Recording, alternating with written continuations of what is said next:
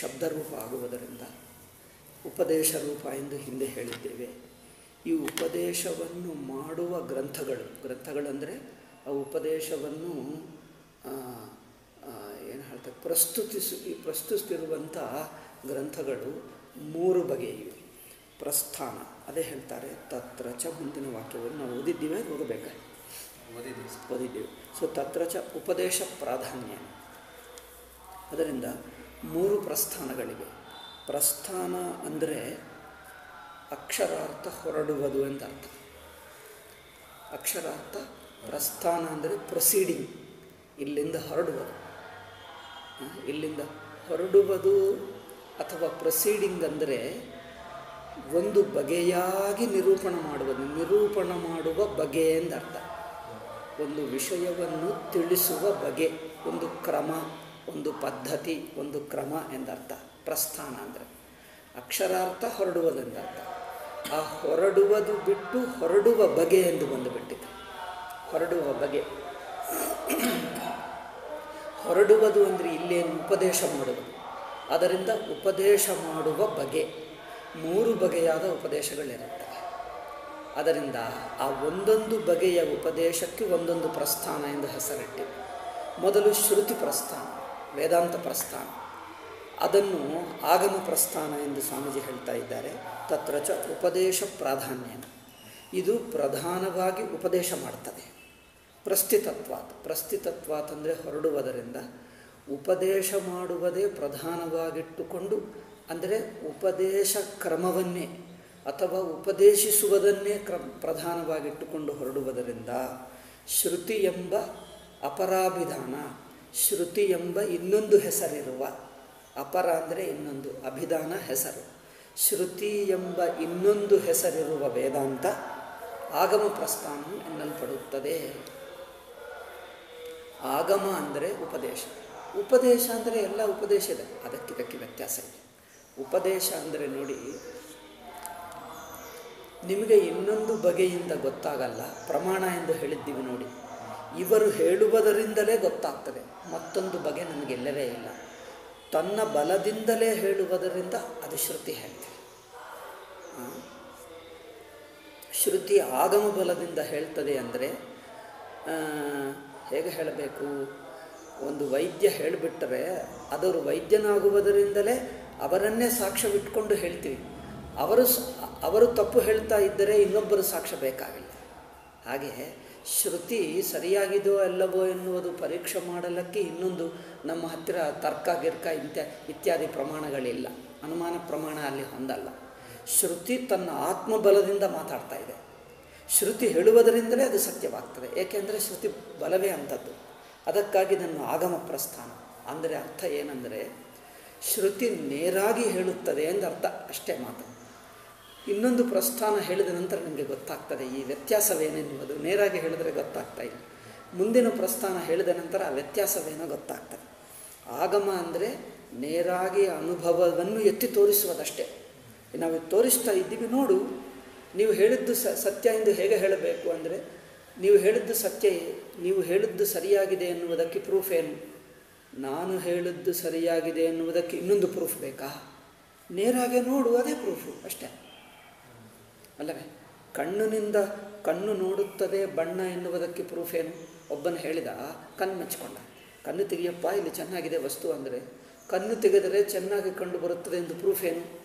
Proof ಏನು? ತೆಗೆದು ನೋಡು ಅಷ್ಟೇ. ಅದೊಂದೇ ಪ್ರೂಫು ಕಣ್ಣಿನಿಂದ ನೋಡುವ ನೋಡಿದರೆ ಸರಿಯಾಗಿ ಕಂಡು ಬರುತ್ತದೆ ಅನ್ನುವುದಕ್ಕೆ ಬೇರೆ ಪ್ರೂಫ್ ಏನು? ಹಾಗೆ ಶ್ರುತಿ ಹೇಳುವುದು ನಮ್ಮ ಅನುಭವದಲ್ಲಿ ಇದ್ದದ್ದನ್ನು ನೇರಾಗಿ ಎತ್ತಿ ತೋರಿಸ್ತಾ ಇದೆ. ಶ್ರುತಿ ಯಾವ ಕಡೆ ತಿರುಗಿಸಿ ಯಾವ ಯಾವ ವಿಷಯವನ್ನು ಹೇಳುತ್ತಾ ಇದೆಯೋ ಆ ಕಡೆ ತಿರುಗಿ ನೋಡು, ತಾನೇ ಕಂಡು ಬರ್ತದೆ ಅದನ್ನು ಆಗಮ ಪ್ರಸ್ಥಾನ. ತರ್ಕ ಬಲಕ್ಕೆ ಹಾಗಲ್ಲ, ತರ್ಕ ಬೇರೆ ಬಲ ಇಟ್ಕೊಂಡು ಮಾತಾಡ್ತವೆ ಇದಕ್ಕೆ ನೇರಾಗಿ ವಿಷಯವನ್ನೇ ಹೇಳುತ್ತಾ ಇರುವುದರಿಂದ ಇದಕ್ಕೆ ಬೇರೆ ಪ್ರೂಫ್ ಬೇಕಾಗಿಲ್ಲ, ಅದೇ ಅದಕ್ಕೆ ಪ್ರೂಫ್ ಸೂರ್ಯನು ಉದಯಿಸಿದ್ದಾನೆ ಅನ್ನುವುದಕ್ಕೆ ಪ್ರೂಫ್ ಏನು? ಏನಾದರೂ ಮೀಟರ್ ಇಟ್ಟು ಹೇಳ್ತೀವಿ? ಬೇರೆ ಮೀಟರ್ ಇಟ್ಟು ಅಂದರೆ ಥರ್ಮಾಮೀಟರ್ ಟೆಂಪರೇಚರ್ ಇದೆ ಅಂದರೆ ಥರ್ಮಾಮೀಟರ್ ಇಟ್ಟು ಸೇ ನೋಡು ಥರ್ಮಾಮೀಟರ್ ಹೇಳುತ್ತಾ ಇದೆ ನಿಮಗೆ ಇಷ್ಟು ಟೆಂಪರೇಚರ್ ಇದೆ ಎಂದು ಹೇಳಬಹುದು. ಆ, ವಾತಾವರಣಕ್ಕಾಗಲಿ ನಮಗಾಗಲಿ ಇಷ್ಟಿದೆ ಎಂದು ಹೇಳಬಹುದು. ಸೂರ್ಯನು ಉದಯಿಸಿದ್ದಾನೆ ಎಂದು ಉದಯಿಸಿದ್ದಕ್ಕೆ ಬೇರೆ ಏನು ಬೇಕಾಗಿಲ್ಲಪ್ಪ. ದೀಪ ಹಚ್ಚಿದ್ದಾರೆ ಲೈಟ್ ಹಾಕಿದ್ದಾರೆ ಅಂದರೆ ನಾ ನೇರಾಗಿ ತಾನೇ ಕಂಡು ಬರ್ತದೆ ಯಾವುದಕ್ಕೆ ಇನ್ನೊಂದು ಪ್ರಮಾಣ ಬೇಕಾಗಿಲ್ಲವೋ ನೇರಾಗಿ ತಾನು ಉದಯಿಸಿ ತಾನೇ ಕಂಡು ಬರ್ತದೆ. ತಾನೇ ಕಂಡು ಬರ್ತದೆ. ಸೂರ್ಯೋದಯವಾಯಿತು ಅಥವಾ ಹಗಲು ಆಯಿತು ಅಂದರೆ ಹಗಲಾದರೆ ತಾನೇ ಕಂಡು ಬರ್ತದೆ. ದೀಪ ಹಚ್ಚಿದ್ದರ ಅಂದರೆ ದೀಪ ಹಚ್ಚಿದ್ದಕ್ಕೆ ಪ್ರೂಫ್ ಏನು ದೀಪ ಹಚ್ಚಿದ ತಾನೇ ಕಂಡು ಬರ್ತದೆ. ಬೇಕಾಗಿಲ್ಲ. ಹಾಗೆ ಯಾವುದು ನೇರಾಗಿ ತನ್ನ ಆತ್ಮಸ್ವರೂಪವನ್ನು ನೇರಾಗಿ ಹೇಳುತ್ತಾ ಇದೆ, ಹೇಳಿದ್ದು ಕಂಡು ಬರುತ್ತದೆ ಅಷ್ಟೇ. ಶ್ರುತಿ ಹೇಳ್ತಾ ಇದೆ, ನೋಡು. ಕೆಲವರಿಗೆ ಶ್ರುತಿ ಹೇಳಿದ್ದು ಅರ್ಥವಾಗ್ತಾ ಇಲ್ಲ. ಶ್ರುತಿ ನೀನು ಬ್ರಹ್ಮ ಎಂದು ಹೇಳಿತು. ನಮ್ಮ ಅನುಭವದಲ್ಲಿ ನಾನು ಬ್ರಹ್ಮ ಅನಿಸುತ್ತಾ ಇಲ್ಲ. ಶ್ರುತಿ ಹೇಳಿದ್ದು ನೇರ ಹೇಳುತ್ತಾ ಇದೆ. ನೇರಾಗಿ ಪ್ರಮಾಣ ಎಂದು ಹೇಗೆ ಪ್ರೂಫ್ ಅದಕ್ಕಾಗಿ ಜನರು ಹೇಳ್ತಾರೆ, ಶ್ರು, ಪ್ರಶ್ನೆ ಮಾಡ್ತಾರೆ, ಶ್ರುತಿ ಹೇಳಿದ್ದು ನೇರಾಗಿ ಅನುಭವದಲ್ಲಿ ಗೊತ್ತಾಗ್ತದೆ ಅಂದರೆ ಶ್ರುತಿ ನೀನೇ ಬ್ರಹ್ಮ ಎಂದು ಹೇಳಿತು. ನಿಮಗೆ ಅರ್ಥವೇ ಆಗ್ತಾ ಇಲ್ಲ. ಅಂದರೆ ಅದಕ್ಕೆ ಕಾರಣವೇನೆಂದರೆ ಶ್ರುತಿ ಹೇಳುವುದು ಯಾವ ಆ್ಯಂಗಲ್ನಲ್ಲಿ ಯಾವ ಜಾಗದಲ್ಲಿ ಹೇಳುತ್ತಾ ಇದೆಯೋ ನೀವು ಅಲ್ಲಿ ನೋಡುತ್ತಾ ಇಲ್ಲ. ನೀವು ಇನ್ನೊಂದು ಕಡೆ ನೋಡಿ ಶ್ರುತಿ ಹೇಳಿದ್ದನ್ನು ಅಲ್ಲಿ ನೋಡುವಕ್ಕೆ ಮಾಡ್ತಾ ಪ್ರಯತ್ನ ಮಾಡ್ತಾ ಇದ್ದೆ. ಅಲ್ಲ, ಅಲ್ಲಿ ಪುಸ್ತಕ ಇದೆ ನೋಡು ಅಂದರೆ ಅವ್ರು ಇನ್ನೊಂದು ಕಡೆ ನೋಡ್ತಾ ಇದ್ದ ಅದು ಚೆನ್ನಾಗಿದೆ ನೋಡಿ, ಆ, ಅದು- ಅದೇನು ಸ್ಪಷ್ಟವಾಗಿದೆ, ಆ ಕೆಂಪು ಪುಸ್ತಕ ಅಂದರೆ ಕೆಂಪು ಇಲ್ಲಿ ಕೆಂಪು ಇಲ್ಲವೇ? ಇದು ಕೆಂಪಿಲ್ಲವೇ ಇಲ್ಲ, ಬಿಳಿ ಇದೆ ಅಂತ ಹೇಳ್ತಾನೆ. ಕೆಂಪೇ ಇದೆ ಅಪ್ಪ ನೋಡು ಅಂದರೆ ಕೆಂಪಿಲ್ಲ ಇಲ್ಲಿ ಬಿಳಿ ಇದೆ ಅಂತ ಹೇಳ್ತಾನೆ. ಅಂದರೆ ಅರ್ಥವೇನು? ಇವರು ಹೇಳಿದ್ದು ಯಾವ ವಸ್ತುವೋ ಅಲ್ಲಿ ಕಡೆ ನೋಡ, ಅಲ್ಲಿ ನೋಡದೆ ಇನ್ನೊಂದು ಕಡೆ ನೋಡ್ತಾ ಇದ್ದೆ. ಅಷ್ಟೇ. ನಾವು ಇನ್ನೊಂದು ಕಡೆ ನೋಡುತ್ತಿದ್ದನ್ನು ಇಲ್ಲಿ ತಿರುಗಿಸಿದ್ದರೆ, ಎಲ್ಲಿ ಶ್ರುತಿ ಹೇಳುತ್ತಾ ಇದೆಯೋ, ಯಾವ ಹಂತದಲ್ಲಿ ಹೇಳುತ್ತಾ ಇದೆಯೋ, ಆ ಹಂತದಲ್ಲಿ ಇದ್ದನ್ನು ನೋಡು, ತಾನೇ ಕಂಡು ಬರ್ತದೆ ಅದಕ್ಕಾಗಿ ಶ್ರುತಿ ನಾನು ಬ್ರಹ್ಮ ಎಂದು ಹೇಳಿದ್ದು ಏಕೆ ಅರ್ಥವಾಗ್ತಾ ಇಲ್ಲ ಅಂದರೆ, ಮೊದಲು ಅಂತಃಕರಣ ಶುದ್ಧಿ ಇಲ್ಲ, ಬಹಿರ್ಮುಖತ ಇದೆ, ವೈರಾಗ್ಯ ಇಲ್ಲ, ಲೌಕಿಕ ವಿಷಯಗಳ ಮೇಲೆ ಆಸಕ್ತಿ, ಮೋಹ ಇದೆ ಒಂದು. ಎರಡನೇದೇನೆಂದರೆ, ನೀನು ಬ್ರಹ್ಮ ಎಂದು ಹೇಳಿದಾಗ ನೀನೆಂಬ ಮಾತಿಗೆ ಏನರ್ಥ ತಿಳ್ಕೊಂಡಿದ್ದೆ. ಈ ದೇಹವನ್ನು ನಾನು ಇನ್ನು ಕುಳಿತಿದ್ದೇನೆ, ಮಾತಾಡ್ತಾ ಇದ್ದೇನೆ, ಕೇಳ್ತಾ ಇದ್ದೇನೆ ಎಂದು ದೇಹವನ್ನಿಟ್ಕೊಂಡು, ನೀನು ಬ್ರಹ್ಮ ಅಂದರೆ ದೇಹವನ್ನು ಬ್ರಹ್ಮ ಎಂದು ಹೇಳ್ತಾ ಇದೆಯಾ? ತಪ್ಪಾಗ್ತಾ ಇದೆ. ನೀನು ಅಂದರೆ ಆ ನೀನು ಮಾತು ಯಾರನ್ನು ಸೂಚಿಸ್ತಾ ಇದೆ? ಯಾರನ್ನು ಹೇಳ್ತಾ ಇದೆ? ನಾನು ದೇಹದಲ್ಲಿ ಕುಳಿತಿದ್ದನ್ನು ಮನುಷ್ಯ ನೋಡಿ. ನನಗೆ ಕಂಡು ಬರ್ತಾ ಇದೆ. ಅಂದರೆ ಎಲ್ಲಿದ್ದೀನಿ ನಾನು? ನಾನೆಂಬುದು ಎಲ್ಲಿದೆ? ಕಣ್ಣಿನಲ್ಲಿದೆ ಅಲ್ಲವೇ? ಕಂಡು ಬರುತ್ತಾ ಇದೆ ಅಂದರೆ ನಾನು ಎಂಬ ಮಾತು ನಾನು ಎಂಬ ಎಂಬುವನು ಎಲ್ಲಿದ್ದೀನಿ? ಕಣ್ಣಿನಲ್ಲಿ ಕುಳಿತುಕೊಂಡು ನೋಡ್ತಾ ಇದ್ದೆ ಹಾಂ ಈಗ ಕೇಳಿಸ್ತಾ ಇದೆ ಅಂದರೆ ಎಲ್ಲಿದ್ದೇನೆ? ಕಣ್ಣಿನಲ್ಲಿ ಕಿವಿಯಲ್ಲಿದ್ದೀನಿ ಆ ಈಗ ನನಗೆ ಹಸಿವಾಗ್ತಾ ಇದೆ ಅಂದರೆ ನಾನು ಎಲ್ಲಿದ್ದೇನೆ? ಕಣ್ಣ ಕೈಯ ಕಾಲ ಹೊಟ್ಟೆ. ಅಂದರೆ ಹೀಗೆ ನಾನೆಂಬುದು ಒಂದೊಂದು ಅನುಭವದಲ್ಲಿ ಒಂದೊಂದು ಜಾಗದಲ್ಲಿದ್ದೀವಿ. ಒಂದೊಂದು ಅನುಭವದಲ್ಲಿ ಒಂದೊಂದು. ಆ, ಈಗ ನಾನು ತಗೊಂಡು ಬಿಟ್ಟೆ ಅಂದರೆ ಅರ್ಥವೇನು? ಈಗ ತಗೊಂಡು ಬಿಟ್ಟೆ ಅಂದರೆ ಕಣ್ಣು ತಗೊಳ್ತದ, ಕಿವಿ ತಗೊಳ್ತದ, ಕೈ ತಗೊಳ್ತದೆ. ಹಾಗೆ ಅಂದರೆ ನಾನು ಇದು, ನಾನು ಅದು ಎಂದು ಹೇಳಿದ್ದಾಗ ಆ ನಾನೆಂಬುದು ಯಾವುದೋ ಒಂದು ಅನುಭವ, ಯಾವುದೋ ಒಂದು ಘಟನೆ, ಯಾವುದೋ ಒಂದು ಕ್ರಿಯೆ, ಯಾವುದೋ ಒಂದು ಅನುಭವ ಹೇಳಿದ್ದಾಗ ಆ ನೀನು ಯಾರಾಗಿದ್ದಿ? ನಾನು ಕುಳಿತಿದ್ದೇನೆ ಅಂದರೆ ನೀವು ದೇಹವಾಗಿದ್ದಿ. ಅಲ್ಲವೇ? ನಾನು ಕುಳಿತಿದ್ದೇನೆ ಎಂದು ನೀವು ದೇಹವಾಗಿದ್ದಿ. ನಾನು ನಡ್ಕೊಂಡು ಹೋಗ್ತಾ ಇದ್ದೇನೆ ದೇಹವಾಗಿದ್ದೆ ಹಸಿವಾಗ್ತಾ ಇದೆ ಅಂದರೆ ನೀವು ಪ್ರಾಣ ಆಗಿದ್ದಿ ಅಪ್ಪ ತುಂಬ ಅವ್ರು ಮಾಡಿದ್ದು ನೋವಾಗ್ತಾ ಇದೆ ಮೂಡ್ ಆಫ್ ಆಗಿದೆ ಅಂದರೆ ನೀವು ಮನಸ್ಸಾಗಿದ್ದೆ ಈಗ ನನಗೆ ಮನಸ್ಸು ಕರ್ತವ್ಯ ಆಗ್ತಾ ಇಲ್ಲ ಅಂದರೆ ನೀವು ಬುದ್ಧಿ ಆಗಿದ್ದಿ ಆ ಮನಸ್ಸು ಕನ್ಫ್ಯೂಸ್ ಸ್ಟೇಟ್ ಇದೆ ಆ ಬುದ್ಧಿಯನ್ನು ಇಟ್ಕೊಂಡು ನಾನು ಎಂದು ಹೇಳ್ತಾ ಇದ್ದೆ ಆತ್ಮ ನೀನು ಬ್ರಹ್ಮ ಎಂದು ಹೇಳಿದಾಗ ಆ ನಾನು ಎಲ್ಲಿದೆ? ಎಲ್ಲೆಲ್ಲೋ ಇಟ್ಕೊಂಡು ಅದು ನೀನು ಬ್ರಹ್ಮ ಅಂದರೆ ನಾನು ಅಲ್ಲಿಟ್ಕೊಂಡು ನೋಡಿದ್ದರೆ ಯಾರೋ ಒಬ್ಬರು ಹ್ಮ್, ಸುಮ್ಮನೆ ಇದು, ಜೋಕ್ಕೋಸ್ಕರ ಹೇಳಿದ್ದೆ. ತತ್ವಮಸಿ ಅದು ನೀನು ಎಂದು ಹೇಳಿದ. ಅದು ಅಂದರೆ ಯಾವುದು? ಉಪನಿಷತ್ತು ನೋಡಿ ಆರನೇ ಅಧ್ಯಾಯ ಭಾಗ ಛಾಂದೋಗ್ಯ ಉಪನಿಷತ್ತಿನಲ್ಲಿ ತತ್ವಮಸಿ ಎಂದು ಹೇಳುತ್ತಾರೆ. ಅದು ಎನ್ನುವುದು ಸರ್ವನಾಮ, ಅಲ್ಲವೇ? ಪ್ರನೌನ್ ಇಂಗ್ಲೀಷ್ನಲ್ಲಿ ಪ್ರನೌನ್ ಹೇಳ್ತೀವಿ. ಅದು ಅವನು ಅಂದರೆ ಅವನು ಅಂದರೆ ಯಾರು? ಯಾವುದೋ ಒಂದು ಸಂದರ್ಭದಲ್ಲಿ ಕಥೆ ಹೇಳುವಾಗಲೋ, ಪುಸ್ತಕ ಬರೆಯುವಾಗಲೋ, ಮಾತು ಮಾತಾಡುವಾಗಲೋ, ಯಾರೋ ಒಬ್ಬರ ಹೆಸರಿಟ್ಟುಕೊಂಡು ಹೇಳಿ ಎರಡು ಸ ಒಂದು ಸಲ ಹೇಳಿದ ನಂತರ, ಈಗ ಎರಡನೇ ಸಲ, ಈಗ ಮತ್ತೆ ಅವನ ಹೆಸರು ಬೇಕಾಗ ಬೇಕಾಗಿಲ್ಲ. ಅವನು ಎಂದು ಹೇಳಿಬಿಟ್ರೆ ಅರ್ಥವಾಗಿಬಿಡ್ತಾನೆ. ಹಿಂದೆ ಯಾರನ್ನು ಹೇಳದೆ ಅವನು ಅಂದರೆ ಅವನು ಅಂದರೆ ಯಾರು ಅಂದರೆ ಅವನೇ ಅವನು ಅಂದರೆ ಯಾರು? ಅವನೇ. ಅವನೆಂದು ಹೇಗೆ ಗೊತ್ತಾಗ್ತದೆ? ಗೊತ್ತಾಗಲ್ಲವಲ್ಲ. ಅವನು ಎಂಬುದು ಸರ್ವನಾಮ. ಅದು ನೀನು ಅಂದರೆ, ಅದು ಅಂದರೆ ಯಾರು? ಮೊದಲು ಒಂದು ಸಲ ಹೇಳಿದ್ದನ್ನು ಇಟ್ಟುಕೊಂಡು, ಅದು ನೀನು ಅಂದರೆ ಅರ್ಥವಾಗ್ತದೆ. ಹೀಗೆ ಅದು ನೀನು ಎಂದು ಹೇಳುವಾಗ ಇವರೇನು ಮಾಡಿದ? ಅಷ್ಟರಲ್ಲಿ ಏನೋ ಸ್ವಲ್ಪ ಶಬ್ದ ಆಯಿತು. ಆ ಕಡೆ ತಿರುಗಿದ. ತಿರುಗಿದ್ರೆ ಏನಂದ್ರೆ ಕತ್ತೆ ಕಂಡು ಬಂತು. ಅದು ನೀನು ಅಂದರೆ ಕತ್ತೆ ನೀನು ಎಂದರ್ಥವ? ಅದರಿಂದ ಸಂದರ್ಭಕ್ಕೆ ನೋಡಿ ಅಂದರೆ ಅದು ಅಂದರೆ ಯಾವ ಸಂದರ್ಭದಲ್ಲಿ? ನೀನು ಅಂದರೆ ಯಾವ ನಿನ್ನನ್ನು ಬ್ರಹ್ಮ ಎಂದು ಹೇಳುತ್ತಾ ಇದ್ದೀವಿ ಮೊದಲು ಬ್ರಹ್ಮ ಅಂದರೆ ಯಾರು? ಬ್ರಹ್ಮ ಅಂದರೆ ಗೊತ್ತಿಲ್ಲ ನಾನಂದರೆ ಗೊತ್ತಿಲ್ಲ. ಈ ಗೊತ್ತಿಲ್ಲದೆ ನೀನು ಬ್ರಹ್ಮ ಎಂದು ಹೇಳಿದೆ ನನಗೆ ಅರ್ಥವಾಗ್ತಾ ಇಲ್ಲ. ಅಥವಾ ಅನುಭವ ಆಗ್ತಾ ಇಲ್ಲ ಅಂದರೆ ಏನದು? ಅಂದರೆ ಶ್ರುತಿ ಹೇಳಿದ್ದು ಯಾವ ಮಟ್ಟದಲ್ಲಿ ನೋಡಬೇಕು? ಯಾವ ಅನುಭವದಲ್ಲಿ ಇದ್ದುಕೊಂಡು ಶ್ರುತಿ ಹೇಳಿದ ತತ್ವ ನೋಡು. ಆ ಹಂತಕ್ಕೆ ಹೋಗಿ ಶ್ರುತಿ ಹೇಳಿದ್ದು ನೋಡಿದರೆ ಎಕ್ಸಾಕ್ಟ್ಲಿ ಶ್ರುತಿ ಹೇಳಿದ್ದೇ ಅಲ್ಲಿದೆ. ಏನು ವ್ಯತ್ಯಾಸ ಇಲ್ಲ. ಅದಕ್ಕಾಗಿ ಆಗಮ ಎಂಬುದು ನೇರಾಗಿ ಅನುಭವವನ್ನು ಎತ್ತಿ ತೋರಿಸ್ತಾ ಇದೆ. ನೋಡುವವನಿಗೆ ಯೋಗ್ಯತೆ ಇಲ್ಲ. ನೋಡುವವನ ಮನಸ್ಸು ಇನ್ನೆಲ್ಲೋ ಕೂತುಬಿಟ್ಟಿದೆ. ಯಾವುದೋ ಬೇರೆ ಅನಾವಶ್ಯಕ ವಿಷಯಗಳಿಂದ ದುಃಖಗಳು, ಬಾಧೆಗಳು, ಅನುಭವಗಳು, ಹಿಂದಿನ ಅಪಮಾನಗಳು, ದುಃಖಗಳೆಲ್ಲ ತುಂಬಿಕೊಂಡು ಇಟ್ಕೊಂಡಿದೆ. ಮಾನ ಅಪಮಾನ. ಒಳ್ಳೆಯದು ಕೆಟ್ಟದು. ಹಿಂದಿನ ನೆನಪುಗಳು, ಅನುಭವಗಳು, ಗಿಲ್ಟು, ಹರ್ಟು ಎಲ್ಲ ತುಂಬಿಕೊಂಡು ಬಿಟ್ಟಿದೆ. ಎನ್ನು ಆಸೆಗಳು, ಅದು ಬೇಕು, ಇದು ಬೇಕು, ಅಲ್ಲಿ ಹೋಗಬೇಕು, ಇಲ್ಲಿ ಹೋಗಬೇಕು, ಏನೋ ಮಾಡಬೇಕು ಜನರಿಗೆ ಇರುತ್ತದೆ ನೋಡಿ. ಅದೆಲ್ಲ ತುಂಬಿಕೊಂಡು ಇಟ್ಕೊಂಡು ಅದೆಲ್ಲ ಖಾಲಿ ಮಾಡಬೇಕು. ಮನಸ್ಸೆಲ್ಲ ಅದೆಲ್ಲ ಬಿಟ್ಟು ಖಾಲಿ ನನಗೆ ಯಾವುದು ಹೊರಗಿನ ವಸ್ತು ಆಗಲಿ, ಕೀರ್ತಿ ಆಗಲಿ, ಹೆಸರಾಗಲಿ, ಭೋಗ ಆಗಲಿ, ಯಾವುದು ಬೇಡ ಎಂದು ಮನಸ್ಸು ಕ್ಲೀನ್ ಆಗಿರುವ ಮನಸ್ಸು ತನ್ನನ್ನೇ ನೋಡು ಅಂದರೆ ನೇರಾಗಿ ನೋಡ್ತಾನೆ ಯಾವಾಗ ನಾನು ಅಂದರೆ ಯಾವಾಗಲೂ ಎಂದಿಗೂ ಇರುತ್ತಿರುವ ತಾನು, ಆ ತಾನು ಬ್ರಹ್ಮ ಅಂದರೆ, ಓ ಕರೆಕ್ಟ್ ಅಂತ ತಕ್ಷಣವೇ ಅರ್ಥವಾಗ್ತದೆ. ಹೀಗೆ ಅದಕ್ಕಾಗಿ ಶ್ರುತಿ ಅಥವಾ ಉಪನಿಷತ್ತು ನೇರಾಗಿ ಅನುಭವವನ್ನೇ ತೋರಿಸ್ತಾ ಇದೆ. ಹೇಳಿದ ನಂತರ ಅದು ಹೌದೋ ಅಲ್ಲವೋ ಮತ್ತೆ ಸಂದೇಹ ಬೇಕಾಗಿಲ್ಲ. ಹೀಗೆ ನೇರಾಗಿ ವಿಷಯವನ್ನೇ ಹೇಳುವುದನ್ನು ಆಗಮ ಪ್ರಸ್ಥಾನ, ಶ್ರುತಿ ಪ್ರಸ್ಥಾನ ಎಂದು ಹೇಳ್ತೀವಿ. ಅದನ್ನೇ ಹತ್ತು ಉಪನಿಷತ್ತುಗಳಿವೆ. ಈಗ ಗೀತಾಶಾಸ್ತ್ರ. ಎರಡನೇ ಇದೆ ಸ್ಮೃತಿ ಪ್ರಸ್ಥಾನ. ಭಗವದ್ಗೀತಕ್ಕೆ ಸ್ಮೃತಿ ಹೇಳ್ತೀವಿ. ಭಗವದ್ಗೀತಾ ಇದೆ, ಮಹಾಭಾರತದಲ್ಲಿ ಶಾಂತಿ ಪರ್ವ ಇದೆ, ಭಾಗವತ ಇದೆ, ಮಿಕ್ಕ ಕೆಲವು ಪ್ರಕರಣ ಗ್ರಂಥಗಳಿವೆ. ಪ್ರಕರಣ ವೇದಾಂತ ಪ್ರಕರಣ ಗ್ರಂಥಗಳು ಗೌಡಪಾದರ ಪ್ರಕರಣ ಗ್ರಂಥ ಇತ್ಯಾದಿಗಳು. ಹಾಂ ಮುಂದಿನ ವಾಕ್ಯ ನೋಡಿ. ನಾವು ಓದಲಿಲ್ಲ ಅನಿಸುತ್ತದೆ ಅಲ್ಲ ಓದೋಣ. ಗೀತಾಶಾಸ್ತ್ರಾದಯಸ್ತು. ಗೀತಾಶಾಸ್ತ್ರದಯಸ್ತು. ಶಾಸ್ತ್ರಾದಯಸ್ತು. ಶಾಸ್ತ್ರದಯಸ್ತು. ಶಾಸ್ತ್ರಾದ. ಶಾಸ್ತ್ರಾದ ಯಸ್ತು. ಯಸ್ತು. ತದುಪಬೃಂಹಣಾಯ ತದುಪಬೃಂಹಣಾಯ ಶ್ರುತ್ಯರ್ಥ. ಶ್ರುತ್ಯರ್ಥ. ಸ್ಮರಣೇನ. ಸ್ಮರಣೇನ ವಿರಚಿತತ್ವಾತ್ ವಿರಚಿತತ್ವಾತ್ ಸ್ಮೃತಿ ಪ್ರಸ್ಥಾನಂ ಸ್ಮೃತಿ ಪ್ರಸ್ಥಾನಂ ಗೀತಾಶಾಸ್ತ್ರ ಆದಯ. ಗೀತಾಶಾಸ್ತ್ರ ಮುಂತಾದ ಗ್ರಂಥಗಳು. ಅಂದರೆ ಉಪನಿಷತ್ತಲ್ಲದ ಮಿಕ್ಕ ಗ್ರಂಥಗಳು. ಅವುಗಳು ತದು ಉಪಬ್ರಹ್ಮಣ. ತತ್ತಂದರೆ ಈ ಆಗಮ ಪ್ರಸ್ಥಾನ. ಉಪನಿಷತ್ತಿನಲ್ಲಿ ಹೇಳಿದ್ದನ್ನು ಸ್ವಲ್ಪ ಬಿಡಿಸಿ ಎಕ್ಸ್ಪ್ಲೇನ್ ಮಾಡುವುದಕ್ಕೆ. ಉಪಬ್ರಹ್ಮಣ ಅಂದರೆ ಎಕ್ಸ್ಪ್ಲನೇಷನ್ ಉಪಬೃಂಹಣ ಅಂದರೆ ಸ್ವಲ್ಪ ಬಿಡಿಸಿ ವಿವರಿಸುವುದು ಎಂದು.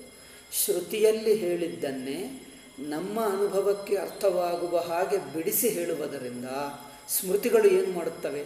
ಶ್ರುತಿ ಹೇಳಿದ್ದನ್ನೇ ಬಿಡಿಸಿ ಹೇಳುತ್ತವೆ ಅಷ್ಟೇ. ಶ್ರುತಿ ನೇರಾಗಿ ಹೇಳುತ್ತದೆ. ಸ್ಮೃತಿಗಳು ಶ್ರುತಿ ಬಲದಿಂದಲೇ ಮಾತಾಡ್ತವೆ, ಅವುಗಳಿಗೆ ಸ್ವಂತ ಬಲ ಇಲ್ಲ. ಶ್ರುತಿ ವಾಕ್ಯಗಳನ್ನೇ ಇಟ್ಕೊಂಡು ಬಿಡಿಸಿ ಹೇಳುತ್ತವೆ. ಅದರಿಂದ ತದು ಉಪಬ್ರಹ್ಮಣ ಅಂದರೆ ಎಕ್ಸ್ಪ್ಲನೇಷನ್ ಉಪಬೃಂಹಣಾಯ ಶ್ರುತ್ಯರ್ಥ ಸ್ಮರಣೇನ ಅಂದರೆ ಉಪನಿಷತ್ತಿನಲ್ಲಿ ಉಪನಿಷತ್ತನ್ನು ಎಕ್ಸ್ಪ್ಲೇನ್ ಮಾಡುವುದಕ್ಕೆ, ವಿವರಿಸುವುದಕ್ಕೆ ಶ್ರುತ್ಯರ್ಥವನ್ನು ಸ್ಮರಿಸಿಕೊಂಡು, ಸ್ಮೃತಿ ಪ್ರಸ್ಥಾನದಲ್ಲಿ ಸ್ಮೃತಿ ಮಾಟ ಮಾತು ಏಕೆ ಬಂದಿದೆ? ಸ್ಮೃತಿ ಮಾತು ಏಕೆ ಬಂದಿದೆ ಅಂದರೆ, ಸ್ಮೃತಿ ಅಂದರೆ ನೆನಪಿಸಿಕೊಳ್ಳುವುದು. ಅಂದರೆ ಶ್ರುತಿ ಉಪನಿಷತ್ತನ್ನು ಕೇಳಿ ಉಪನಿಷತ್ತು ಹೇಳಿದ ಅರ್ಥವನ್ನು ಮನಸ್ಸಿನಲ್ಲಿಟ್ಟುಕೊಂಡು ಅರ್ಥವನ್ನೇ ವಿವರಿಸಕ್ಕೆ ಬಂದಿರುವುದರಿಂದ ಸ್ಮೃತಿ ಎಂದು ಹೇಳಿದ್ದೇವೆ, ಸ್ಮೃತಿ ಪ್ರಸ್ಥಾನ. ತದರ್ಥ ಸ್ಮರಣೇನ. ಅಂದರೆ ಉಪನಿಷತ್ತಿನ ಅರ್ಥವನ್ನು ಸ್ಮರಿಸಿಕೊಂಡು, ನೆನಪಿಟ್ಟುಕೊಂಡು, ಅದನ್ನೇ ವಿವರಿಸುವುದಕ್ಕೆ ಹೊರಡಿರುವುದರಿಂದ ವಿರಚಿತತ್ವ ಭಗವದ್ಗೀತಾ ಮುಂತಾದ ಗ್ರಂಥಗಳನ್ನು ಸ್ಮೃತಿ ಪ್ರಸ್ಥಾನ ಎಂದು ಹೇಳ್ತೀವಿ ಉಪನಿಷತ್ತನ್ನು ಶ್ರುತಿ ಪ್ರಸ್ಥಾನ ಅಥವಾ ಆಗಮ ಪ್ರಸ್ಥಾನ ಹೇಳ್ತೀವಿ ಭಗವದ್ಗೀತಾ ಮುಂತಾದ ಗ್ರಂಥಗಳನ್ನು ಸ್ಮೃತಿ ಪ್ರಸ್ಥಾನ ಹೇಳ್ತೀವಿ ಈಗ ಮೂರನೆಯ ಪ್ರಸ್ಥಾನ ನೋಡೋಣ. ವೇದಾಂತ ವಾಕ್ಯ. ವೇದಾಂತವಾಕ್ಯ ಮೀಮಾಂಸೆಯ. ಮೀಮಾಂಸೆಯ. ಸ್ಮೃತಿಯುಕ್ತ್ಯುಪ ಸ್ಮೃತಿಯುಕ್ತ್ಯುಪಕರಣೈ. ಸ್ಮೃತಿಯು ಸ್ಮೃತಿ ಉಪಕರಣೈ ಸ್ಮೃತಿ ಸ್ಮೃತಿ ಯುಕ್ತ್ಯುಪಕರಣೈ. ಯುಕ್ತ್ಯುಪಕರಣೈ. ಸಹ ಸಹ ತತ್ವನಿರ್ಧಾರಣಾಯ. ತತ್ವನಿರ್ಧರಣಾಯ ನಿರ್ಧಾರಣಾಯ. ನಿರ್ಧರಾಣ. ನಿರ್ ಸಿ ನಿರ್ಧಾರ ನಿಮ್ಮ ಕನ್ನಡದಲ್ಲಿದೆ. ನಿರ್ಧಾರಣ ನಿರ್ಧರಣ ಅಂತ ತಪ್ಪು ಕನ್ನಡ ಸಂಸ್ಕೃತದಲ್ಲಿಲ್ಲ. ನಿರ್ಧಾರಣ ಆಗುತ್ತದೆ. ನಿರ್ಧಾರಣಾಯ. ಹಾಗಾದರೆ ಆಗುತ್ತೆ ನಿರ್ಧರಣ ಅದು ಕನ್ನಡದಲ್ಲಿದೆ. ನಿರ್ಧ ನಿರ್ಧರಿಸುವುದು ಅಂತ ಹೇಳಿಬಿಡ್ತಾರೆ. ನಿರ್ಧರಣ ಅಂತ ಹೇಳ್ತೀರಾ? ನಿರ್ಧರಣ. ನಿರ್ಧರಿಸುವುದು. ಇಲ್ಲ. ಇಲ್ಲ. ನಿರ್ಧಾರಣಾಯ ನಿರ್ಧಾರ. ಆ. ಪ್ರಸ್ಥಿತತ್ವಾತ್ ಪ್ರಸ್ಥಿತತ್ವಾತ್ ಶಾರೀರಕಂ ಶಾರೀರಕಂ ನ್ಯಾಯಪ್ರಸ್ಥಾನಂ ನ್ಯಾಯಪ್ರಸ್ಥಾನಂ ಇತ್ಯುಚ್ಯತೆ ಇತ್ಯುಚ್ಯತೆ ಹಾಂ ಈಗ ಮೂರನೆಯ ಪ್ರಸ್ಥಾನ ಹೆಸರು ನ್ಯಾಯ ಪ್ರಸ್ಥಾನ ಬ್ರಹ್ಮಸೂತ್ರಕ್ಕೆ. ಬ್ರಹ್ಮಸೂತ್ರಕ್ಕೆ ನ್ಯಾಯ ಪ್ರಸ್ಥಾನ ಹೇಳ್ತಾರೆ ಪ್ರಸ್ಥಾನ ಅಂದರೆ ಹೊರಡುವುದು ಅಥವಾ ಹೇಳುವ ಬಗೆ ಎಂದು ಹೇಳಿದ್ವಿ. ಶ್ರುತಿ ಪ್ರಸ್ಥಾನ ಅಂದರೆ ಅದು ನೇರಾಗಿ ಹೇಳುವುದರಿಂದ ನೇರಾಗಿ ಹೇಳುವ ಬಗೆ.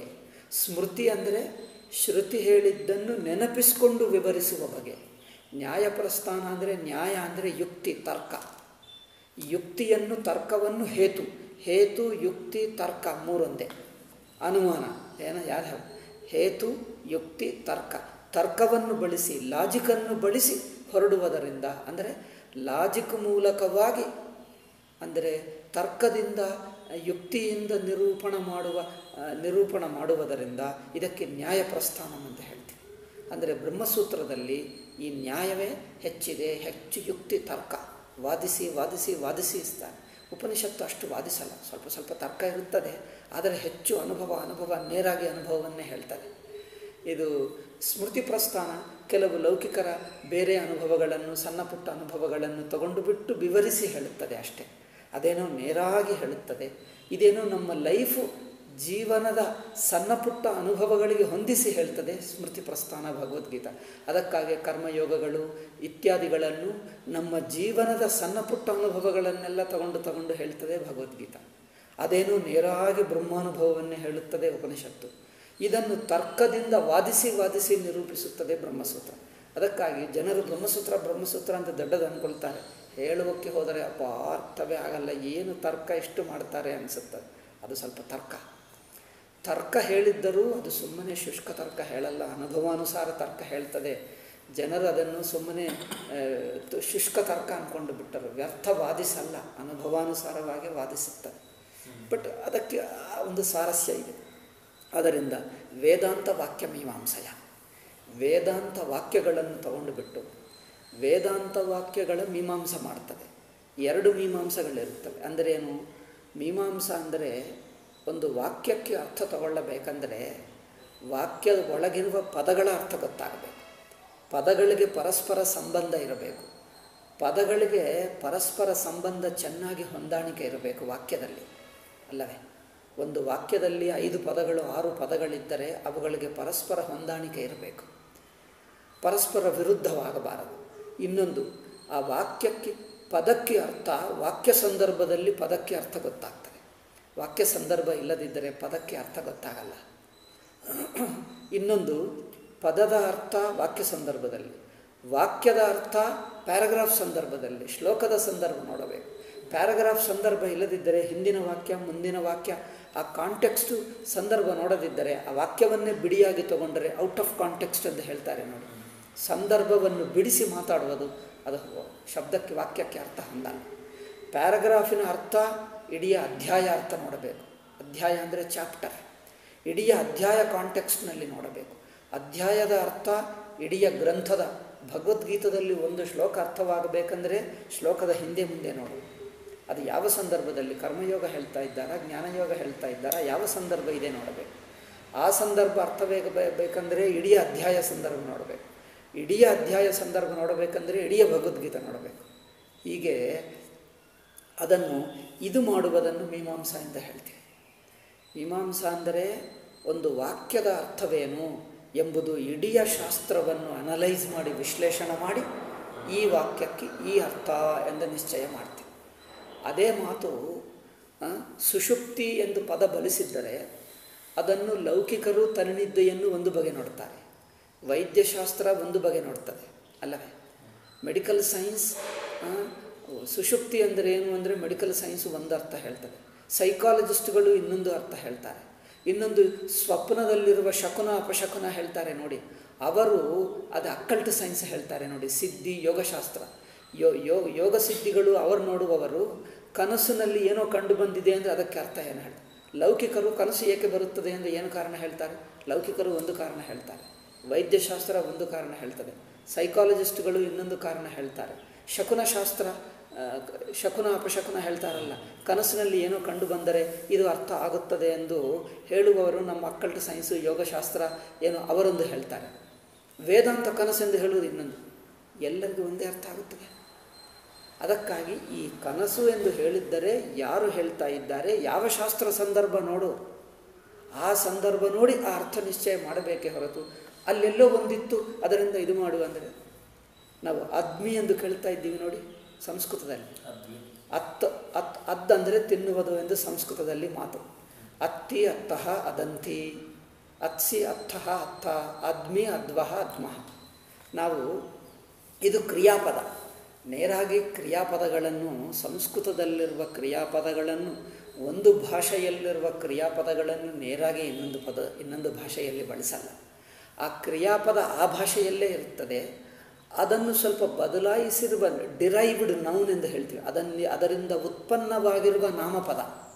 ಕ್ರಿಯೆಯಿಂದ ಉತ್ಪನ್ನವಾಗಿರುವ ನಾಮಪದವನ್ನು ನಾವು ಬೇರೆ ಭಾಷೆಯಲ್ಲಿ ಬಳಸುವುದು ಉಂಟು. ಅಲ್ಲವೇ? ಕೃಷತಿ ಅಂದಿದ್ದರೆ ಕೃಷಕ, ಕೃಷಿಕ ಎಂದು ಸ್ವಲ್ಪ ಬದಲಾಯಿಸಿ ಅದನ್ನು ಉತ್ಪನ್ನವಾಗಿರುವ ನಾಮಪದವಾಗಿ ಬಳಸ್ತೀವಿ. ಹಾಗೆ ಅದ್ಮಿ ಎಂದು ಪದ ಕೇಳಿ ನಾನು ಅವರಿಗೆ ಹೇಳಿದ್ದೀನಿ. ನಮ್ಮ ಸಂಸ್ಕೃತ ಪದಗಳು ಯಾವುದೋ ಒಂದು ರೂಪದಲ್ಲಿ ನಮ್ಮ ಭಾರತೀಯ ಭಾಷೆದಲ್ಲಿವೆ. ಅದರಿಂದ ಹಾಗೆ ನೋಡಿಕೊಂಡರೆ ನಿಮಗೆ ಬೇಗ ಅರ್ಥವಾಗ್ತದೆ ನೆನಪಿಟ್ಟುಕೊಳ್ಳಬಹುದು ಎಂದು ಹೇಳಿದ್ದೆ. ಆದ್ಮಿ ಎಂದು ಪದ ಬಂದಾಗ ಒಬ್ಬನು ಹೇಳ್ತಾನೆ, ಶಬಾನ ಅಜ್ಮಿ ಇದ್ದಾರೆ ನೋಡಿ ಸಿನ್, ಸಿನಿಮಾ ನಟಿ, ಈ ಅದ್ಮಿ ಅಂದರೆ ಅವಳ ಹೆಸರಾ? ಎಂದು ಹೇಳ್ತಾನೆ. ಅಯ್ಯೋ ರಾಮ ಒಬ್ಬನು ಕೇರಳದಿಂದ ಬಂದ ಒಬ್ಬ ಬ್ರಹ್ಮಚಾರಿ ಅಲ್ಲಿ ನಾನು ಋಷಿಕೇಶ್ನಲ್ಲಿರುವಾಗ ಪಾಠ ಸಂಸ್ಕೃತ ಪಾಠ ಹೇಳುತ್ತೆ, ವೇದಾಂತ ಪಾಠ ಹೇಳುತ್ತಿದ್ದೆ, ಸಂಸ್ಕೃತ ಪಾಠ. ಅಯ್ಯೋ ರಾಮ, ನಾನು ಹೇಳಿದ್ದೀನಿ, ಸಂಸ್ಕೃತ ಪದ ಭಾರತೀಯ ಭಾಷೆಯಲ್ಲಿ ನೋಡಪ್ಪ ಅಂದರೆ ಮುಸ್ಲಿಂ ಹೆಸರಿನಲ್ಲಿ ಸಂಸ್ಕೃತ ಪದ ನೋಡುವುದು ಅದು ಏನರ್ಥ ಆವಾಗಿನಿಂದ ಸಂಸ್ಕೃತ ಪದಗಳು ನಮ್ಮ ಭಾಷೆಯಲ್ಲಿದೆ ಎಂದು ಹೇಳುವುದೇ ನಿಲ್ಲಿಸಿಬಿಟ್ಟೆ. ಏನಂದರೆ, ಏನೋ ತರಬಲ ಇಲ್ಲದೆ ನೋಡ್ತಾರೆ ಜನರು. ಅಲ್ಲವೇ? ಅದಕ್ಕಾಗಿ ಅದೇ ಅದೇ ಅತಿಯಾಗಿ ಮಾಡ್ತಾರೆ. ಅದಕ್ಕಾಗಿ ಅದು ಬಿಟ್ಟೆ. ಆ ಆ ಆ ಏನೋ ಪದಕ್ಕೆ ಏನೋ ಪದ ಹಾಕಿಬಿಡ್ತಾರೆ. ಯಾವುದೋ ಇಂಗ್ಲೀಷ್ ಪದನೋ ಯಾವುದೋ ಉರ್ದು ಪದ ತಂದು ಬಿಡ್ತಾರೆ. ಸಂಸ್ಕೃತ ಪದಗಳು ಸ್ವಲ್ಪ ಬದಲಾಯಿಸಿ ಅಂದರೆ ಅರ್ಥವೇನು? ಸ್ವಲ್ಪ ಉತ್ಪನ್ನ ನಾಮಪದಗಳು ಅಥವಾ ವಿಶೇಷಣಗಳು ಅಂಥ ರೂಪಗಳು ಬದಲಾಯಿಸಿ ನಮ್ಮ ಭಾಷೆಯಲ್ಲಿರುತ್ತವೆ ಅಲ್ಲ? ಗಚ್ಚತಿ, ಗಮನ ಇದೆ ಅಲ್ಲ? ಅದಕ್ಕೆ ಗತಿ, ಗಮನ, ಆಗಮನ ಹೇಳ್ತೀವಿ ನೋಡಿ. ಆಗಮಿಸುವುದು, ಗಮಿಸುವುದು ಗಮಿಸುವುದು, ಆಗಮಿಸುವುದು ಇದೆ. ಆಗಮಿಸುವುದಿಲ್ಲ. ಅದು ಹಾಗೆ. ಅಂದರೆ ಗಚ್ಚತಿ ಆಗಚ್ಚತಿ ಹೀಗೆ ಸ್ವಲ್ಪ ಬದಲಾಯಿಸಿಕೊಂಡು ಆಗಮಿಸುವುದಿದೆ ಹೀಗೆ ನೋಡಬೇಕೇ ಹೊರತು ಅದನ್ನೇ ಆ್ಯಸ್ ಇಟ್ ಈಸ್ ಯಾರೂ ಮಾಡಲ್ಲ. ಆಯಿತು. ಆದ್ದರಿಂದ ಅವರು ಏನೇನೋ ಊಹಿಸ್ಕೊಳ್ತಾರೆ. ಹೀಗೆ ತರ್ಕದಿಂದ ಅದನ್ನು ಮೀಮಾಂಸ ಮಾಡಬೇಕಂದರೆ ಸಂದರ್ಭ ನೋಡಬೇಕು. ಹೀಗೆ ಉಪನಿಷತ್ತು ವಾಕ್ಯಗಳಿಗೆ ಆ ಸಂದರ್ಭದಲ್ಲಿ ಏನರ್ಥ ಎಂಬುದು ವಿಶ್ಲೇಷಣೆ ಮಾಡಿ ಆ ಉಪನಿಷತ್ತು ವಾಕ್ಯಗಳಿಗೆ ಅರ್ಥ ನಿಶ್ಚಯ ಮಾಡುತ್ತದೆ ಬ್ರಹ್ಮಸೂತ್ರ. ಅದಕ್ಕಾಗಿ ವೇದಾಂತ ವಾಕ್ಯ ಮೀಮಾಂಸೆಯ ಸ್ಮೃತಿಯುಕ್ತ್ಯುಪಕರಣೈ ಎರಡು ಸಹಾಯ ತಗೊಳ್ತದೆ. ಉಪನಿಷತ್ತು ವಾಕ್ಯಗಳನ್ನಿಟ್ಕೊಂಡು ಆ ವಾಕ್ಯಗಳಿಗೆ ಅರ್ಥವೇನು ಎಂದು ನಿಶ್ಚಯ ಮಾಡುವುದಕ್ಕೆ ಹೊರಟಿರುವ ಬ್ರಹ್ಮಸೂತ್ರಗಳು ಎರಡು ಸಲಕರಣಗಳನ್ನು ಬಳಸ್ತದೆ. ಒಂದು ಸ್ಮೃತಿ, ಭಗವದ್ಗೀತಾ, ಮಹಾಭಾರತ ಇತ್ಯಾದಿ ಗ್ರಂಥಗಳನ್ನು ಸಲಕರಣೆ ಆಗಿ ಬಳಸ್ತದೆ. ಅಂದರೆ ಏನು ಪುರಾಣ. ಸಾಮಾನ್ಯವಾಗಿ ಶಂಕರಾಚಾರ್ಯರು ಬಳಸಿದ್ದಕ್ಕೆ ವಿಷ್ಣು ಪುರಾಣ, ಮಹಾಭಾರತ, ಭಗವದ್ಗೀತ ಈ ಮೂರನ್ನೇ ಹೆಚ್ಚು ಬಳಸುವುದು ಕಂಡುಬರುತ್ತದೆ. ಕೆಲವೊಮ್ಮೆ ಬೇರೆ ಗ್ರಂಥಗಳು ಬಳಸ್ತಾರೆ, ಬಟ್ ಹೆಚ್ಚು ಈ ಮೂರೇ. ಅಂದರೆ ಮಹಾಭಾರತ, ವಿಷ್ಣು ಪುರಾಣ, ಅಂದರೆ ಕೆಲವು ಪುರಾಣಗಳು. ಪುರಾಣಗಳು ವಿಷ್ಣು ಪುರ, ಮಹಾಭಾರತ, ಭಗವದ್, ಭಗವದ್ಗೀತ ಮಹಾಭಾರತದಲ್ಲಿ ಅಂತರ್ಭಾಗ. ಅಂದರೆ ಮಹಾಭಾರತ ಪುರಾಣ, ಇತಿಹಾಸ ಪುರಾಣ ಅಷ್ಟೇ ಹೇಳಬಹುದು. ಇತಿಹಾಸ ಅಂದರೆ ಮಹಾಭಾರತ, ಪುರಾಣಗಳು. ಮಹಾಭಾರತ ಪುರಾಣಗಳನ್ನೇ ಸಲಕರಣೆಯಾಗಿ ಬಳಸಿಕೊಂಡು ಅಷ್ಟೇ ಅಲ್ಲದೆ ಯುಕ್ತಿ ಯುಕ್ತಿ ಅಂದರೆ ಏನಂದರೆ ತರ್ಕ. ಯುಕ್ತಿ, ಸ್ಮೃತಿ ವಾಕ್ಯಗಳು. ಅಂದರೆ ಮಹಾಭಾರತ ಪುರಾಣ ವಾಕ್ಯಗಳ ಸಹಾಯದಿಂದ. ಮಹಾಭಾರತ ಸ್ಮೃತಿ ವಾಕ್ಯಗಳೇಕೆ? ಅಂದರೆ ನಮಗಿಂತ ಪೂರ್ವಕಾಲದಲ್ಲಿರುವಂಥ ವೇದವ್ಯಾಸರು ನಾವು ಉಪನಿಷತ್ತು ವಾಕ್ಯಗಳನ್ನು ಅರ್ಥ ಮಾಡಿಕೊಳ್ಳುವುದಕ್ಕೆ ಹೋದಾಗ ಈ ಉಪನಿಷತ್ತು ವಾಕ್ಯಕ್ಕೆ ಏನರ್ಥ ಇರಬಹುದು ನಮಗೆ ಸಂದೇಹ ಬರುತ್ತದೆ. ಅದಾ ಇದಾ ಏನು? ನಮ್ಮ ಹಿಂದಿನ ಆಚಾರ್ಯರನ್ನು ನೋಡಿಕೊಂಡರೆ ವೇದವ್ಯಾಸ ಅಂತ ಮಹನೀಯರು, ಪುರಾಣ ಋಷಿಗಳು, ಅವರು ವೇದ ಉಪನಿಷತ್ತು ಮಂತ್ರಗಳನ್ನು ಹೇಗೆ ಅರ್ಥ ಮಾಡಿಕೊಂಡರು? ಅವರ ಅರ್ಥ ಮಾಡಿಕೊಂಡು ಆ ಅರ್ಥವನ್ನು ಪುರಾಣಗಳಲ್ಲಿ, ಮಹಾಭಾರತಗಳಲ್ಲಿ ಅಲ್ಲಲ್ಲಿ ಹಾಕಿದ್ದಾರೆ. ಅದರಿಂದ ಆ ಸ್ಮೃತಿಗಳು ನಮಗೆ ಉಪನಿಷತ್ತುಗಳನ್ನು ಅರ್ಥ ಮಾಡಿಕೊಳ್ಳುವುದಕ್ಕೆ ಸಹಾಯಕವಾಗ್ತವೆ. ಅದಕ್ಕಾಗಿ ಪುರಾಣಗಳು ಮಹಾಭಾರತವನ್ನು ಪಕ್ಕಕ್ಕಿಡಬಾರದು ಅವುಗಳ ಸಹಾಯದಿಂದಲೇ ಅರ್ಥ ಮಾಡಿಕೊಳ್ತೀವಿ. ಏಕೆಂದರೆ ಅವರು ನಮಗಿಂತ ಹಿಂದಿನ ಋಷಿಗಳು. ವೇದವ್ಯಾಸ ಅಂಥವರು ಆ, ಉಪನಿಷತ್ತಿನ ಋಷಿಗಳಿಗೆ ತುಂಬ ಹತ್ತಿನ ಕಾಲದವರು. ನಾವು ನೋಡಿ ಐದು ಐದು ಸಾವಿರ ವರ್ಷ ನಂತರ ನಾವಿದ್ದೇವೆ. ಅವರು ತುಂಬ ಹಿಂದಿನವರು. ಆ ಹಿಂದಿನ ಋಷಿಗಳ ಜೊತೆಗೆ ಇದ್ದಿರುವುದರಿಂದ ಆ ಉಪನಿಷತ್ತು ಮಂತ್ರಗಳ ಅರ್ಥವೇನೆನ್ನುವುದು ಅವರಿಗೆ ತಿಳಿಯುವ ಚಾನ್ಸ್ ಹೆಚ್ಚಿದೆ. ಆದ್ದರಿಂದ ಹಿಂದಿನ ಆಚಾರ್ಯರು ಏನೆಂದು ತಿಳ್ಕೊಂಡರು? ಮನು, ವೇದವ್ಯಾಸ, ವಾಲ್ಮೀಕಿ ಇನ್ನು ಯಾರು ಇತ್ಯಾದಿ ಋಷಿಗಳು, ಹೇಗೆ ಯಾಜ್ಞವಲ್ಕ್ಯಾದಿ ಋಷಿಗಳು ಹೇಗೆ ಅರ್ಥ ಮಾಡಿಕೊಂಡರು ನೋಡಿಕೊಂಡರೆ ಅವರ ಸಹಾಯದಿಂದ ನಮಗೆ ಬೋಧಾಯನ ಆಪಸ್ತಂಭಾದಿಗಳು ಗೌಡಪಾದ, ನಮಗಿಂತ ಹಿಂದಿನ ಋಷಿಗಳು ಹೇಗೆ ಅರ್ಥ ಮಾಡಿಕೊಂಡರು? ಅವರ ಸಹಾಯದಿಂದ ನಾವು ಉಪನಿಷತ್ತುಗಳು ಚೆನ್ನಾಗಿ ಅರ್ಥ ಅದರಿಂದ ಸ್ಮೃತಿವಾಕ್ಯಗಳ ಸಹಾಯದಿಂದ ಯುಕ್ತಿ, ಯುಕ್ತಿಯಿಂದ ಅದನ್ನು ಯುಕ್ತಿಗೆ ಅನುಗುಣವಾಗಿದೆಯೋ ಇಲ್ಲವೋ ಎಂದು ನೋಡಬೇಕು. ಹೀಗೆ ಯುಕ್ತಿಯನ್ನು ಸ್ಮೃತಿವಾಕ್ಯಗಳ ಸಲಕರಣ ಆಗಿ ಬಳಸಿಕೊಂಡು ಉಪನಿಷತ್ತು ವಾಕ್ಯಗಳ ಅರ್ಥವನ್ನು ನಿರ್ಧರಿಸುವಕ್ಕೆ ಹೊರಟುವುದರಿಂದ ತತ್ವ ನಿರ್ಧಾರಣಾಯ ಪ್ರಸ್ಥಿತತ್ವಾತ್ ಶಾರೀರಕಂ. ಶಾರೀರಿಕ ಸೂತ್ರಾಣಿ ಅಥವಾ ವೇದಾಂತ ಸೂತ್ರಾಣಿ ಎಂದು ಹೆಸರಾಯಿತು ಪೂ ಶಂಕರಾಚಾರ್ಯ ಕಾಲದಲ್ಲಿ ವೇದಾಂತ ಸೂತ್ರಗಳು ಅಥವಾ ಸೂತ್ರಾಣಿ ಸಂಸ್ಕೃತ ಮಾತು. ವೇದಾಂತ ಸೂತ್ರಗಳು ಅಥವಾ ಶಾರೀರಿಕ ಸೂತ್ರಗಳು. ಶಾರೀರಿಕ ಅಂದರೆ ಆತ್ಮ. ಆತ್ಮಸೂತ್ರಗಳು ಅಥವಾ ಆತ್ಮ ಆತ್ಮಸೂತ್ರಗಳು ಎಂದು ಹೆಸರು ಬಳಸಲಿಲ್ಲ. ಶಾರೀರಿಕ ಸೂತ್ರಾಣಿ ಎಂದು ಬಳಸಿದ್ದ. ಶಾರೀರಿಕ ಅಂತ ಅಂದರೆ ಆತ್ಮ. ಅಂದರೆ ಶಾರೀರಿಕ ಸೂತ್ರಾಣಿ, ವೇದಾಂತ ಸೂತ್ರಾಣಿ ಎಂದು ಹೇಳಿದರು. ಬ್ರಹ್ಮಸೂತ್ರಾಣಿ ಎಂದು ಶಂಕರಾಚಾರ್ಯರು ಒಂದು ಮಾತು ಸಲ ಹೇಳಲಿಲ್ಲ. ಅದು ಅನಂತರ ಕಾಲದಲ್ಲಿ ಆ ಹೆಸರು ಪ್ರಸಿದ್ಧವಾಯಿತು. ಆ ಹೆಸರು ಆ ಕಾಲದಲ್ಲಿರಲಿಲ್ಲ. ಶಾರೀರಿಕ ಸೂತ್ರಾಣಿ, ವೇದಾಂತ ಸೂತ್ರಾಣಿ ಎಂದು ಹೆಸರೇ ಪ್ರಸಿದ್ಧವಾಯಿತು. ಆಯಿತು. ಆದ್ದರಿಂದ ಶಾರೀರಿಕ ಸೂತ್ರವನ್ನು ನ್ಯಾಯಪ್ರಸ್ಥಾನಂ ಎಂದು ಇತ್ಯುಚ್ಯತೆ. ಈಗ ಮುಂದಿನ ವಾಕ್ಯವನ್ನು ತದೇವಂ ತದೇವಂ ಶ್ರುತಯ ಶ್ರುತಯ ವೇದಾಂತಶಾಸ್ತ್ರಂ. ವೇದಾಂತಶಾಸ್ತ್ರಂ ಶಾಸ್ತ್ರಾರ್ಥತ್ವಾತ್ ಶಾಸ್ತ್ರಾರ್ಥತ್ವಾತ್ ಗೀತಾಶಾಸ್ತ್ರಮಪಿ ಗೀತಾಶಾಸ್ತ್ರಮಪಿ ವೇದಾಂತಶಾಸ್ತ್ರಂ. ವೇದಾಂತಶಾಸ್ತ್ರಂ ನಿಮಗೆ ಭಗವದ್ಗೀತಾ ಶ್ಲೋಕಗಳು ಓದೋಕ್ಕೆ ಬರ್ತವೆ? ಹಾಂ ಕನ್ನಡ ಲಿಪಿ ಬರುತ್ತೆ. ಲಿಪಿ ಯಾವುದೇ ಆಗಲಿ ಸಂಸ್ಕೃತ ಶ್ಲೋಕಗಳು. ಇಡೀ ಹದಿನೆಂಟು ಅಧ್ಯಾಯಗಳು. ಅಷ್ಟು ಬರೋದಿಲ್ಲ ಕೆಲವೊಂದು ಅಧ್ಯಾಯಗಳು. ಅದು ಕಲ್ತ್ಕೊಂಡು.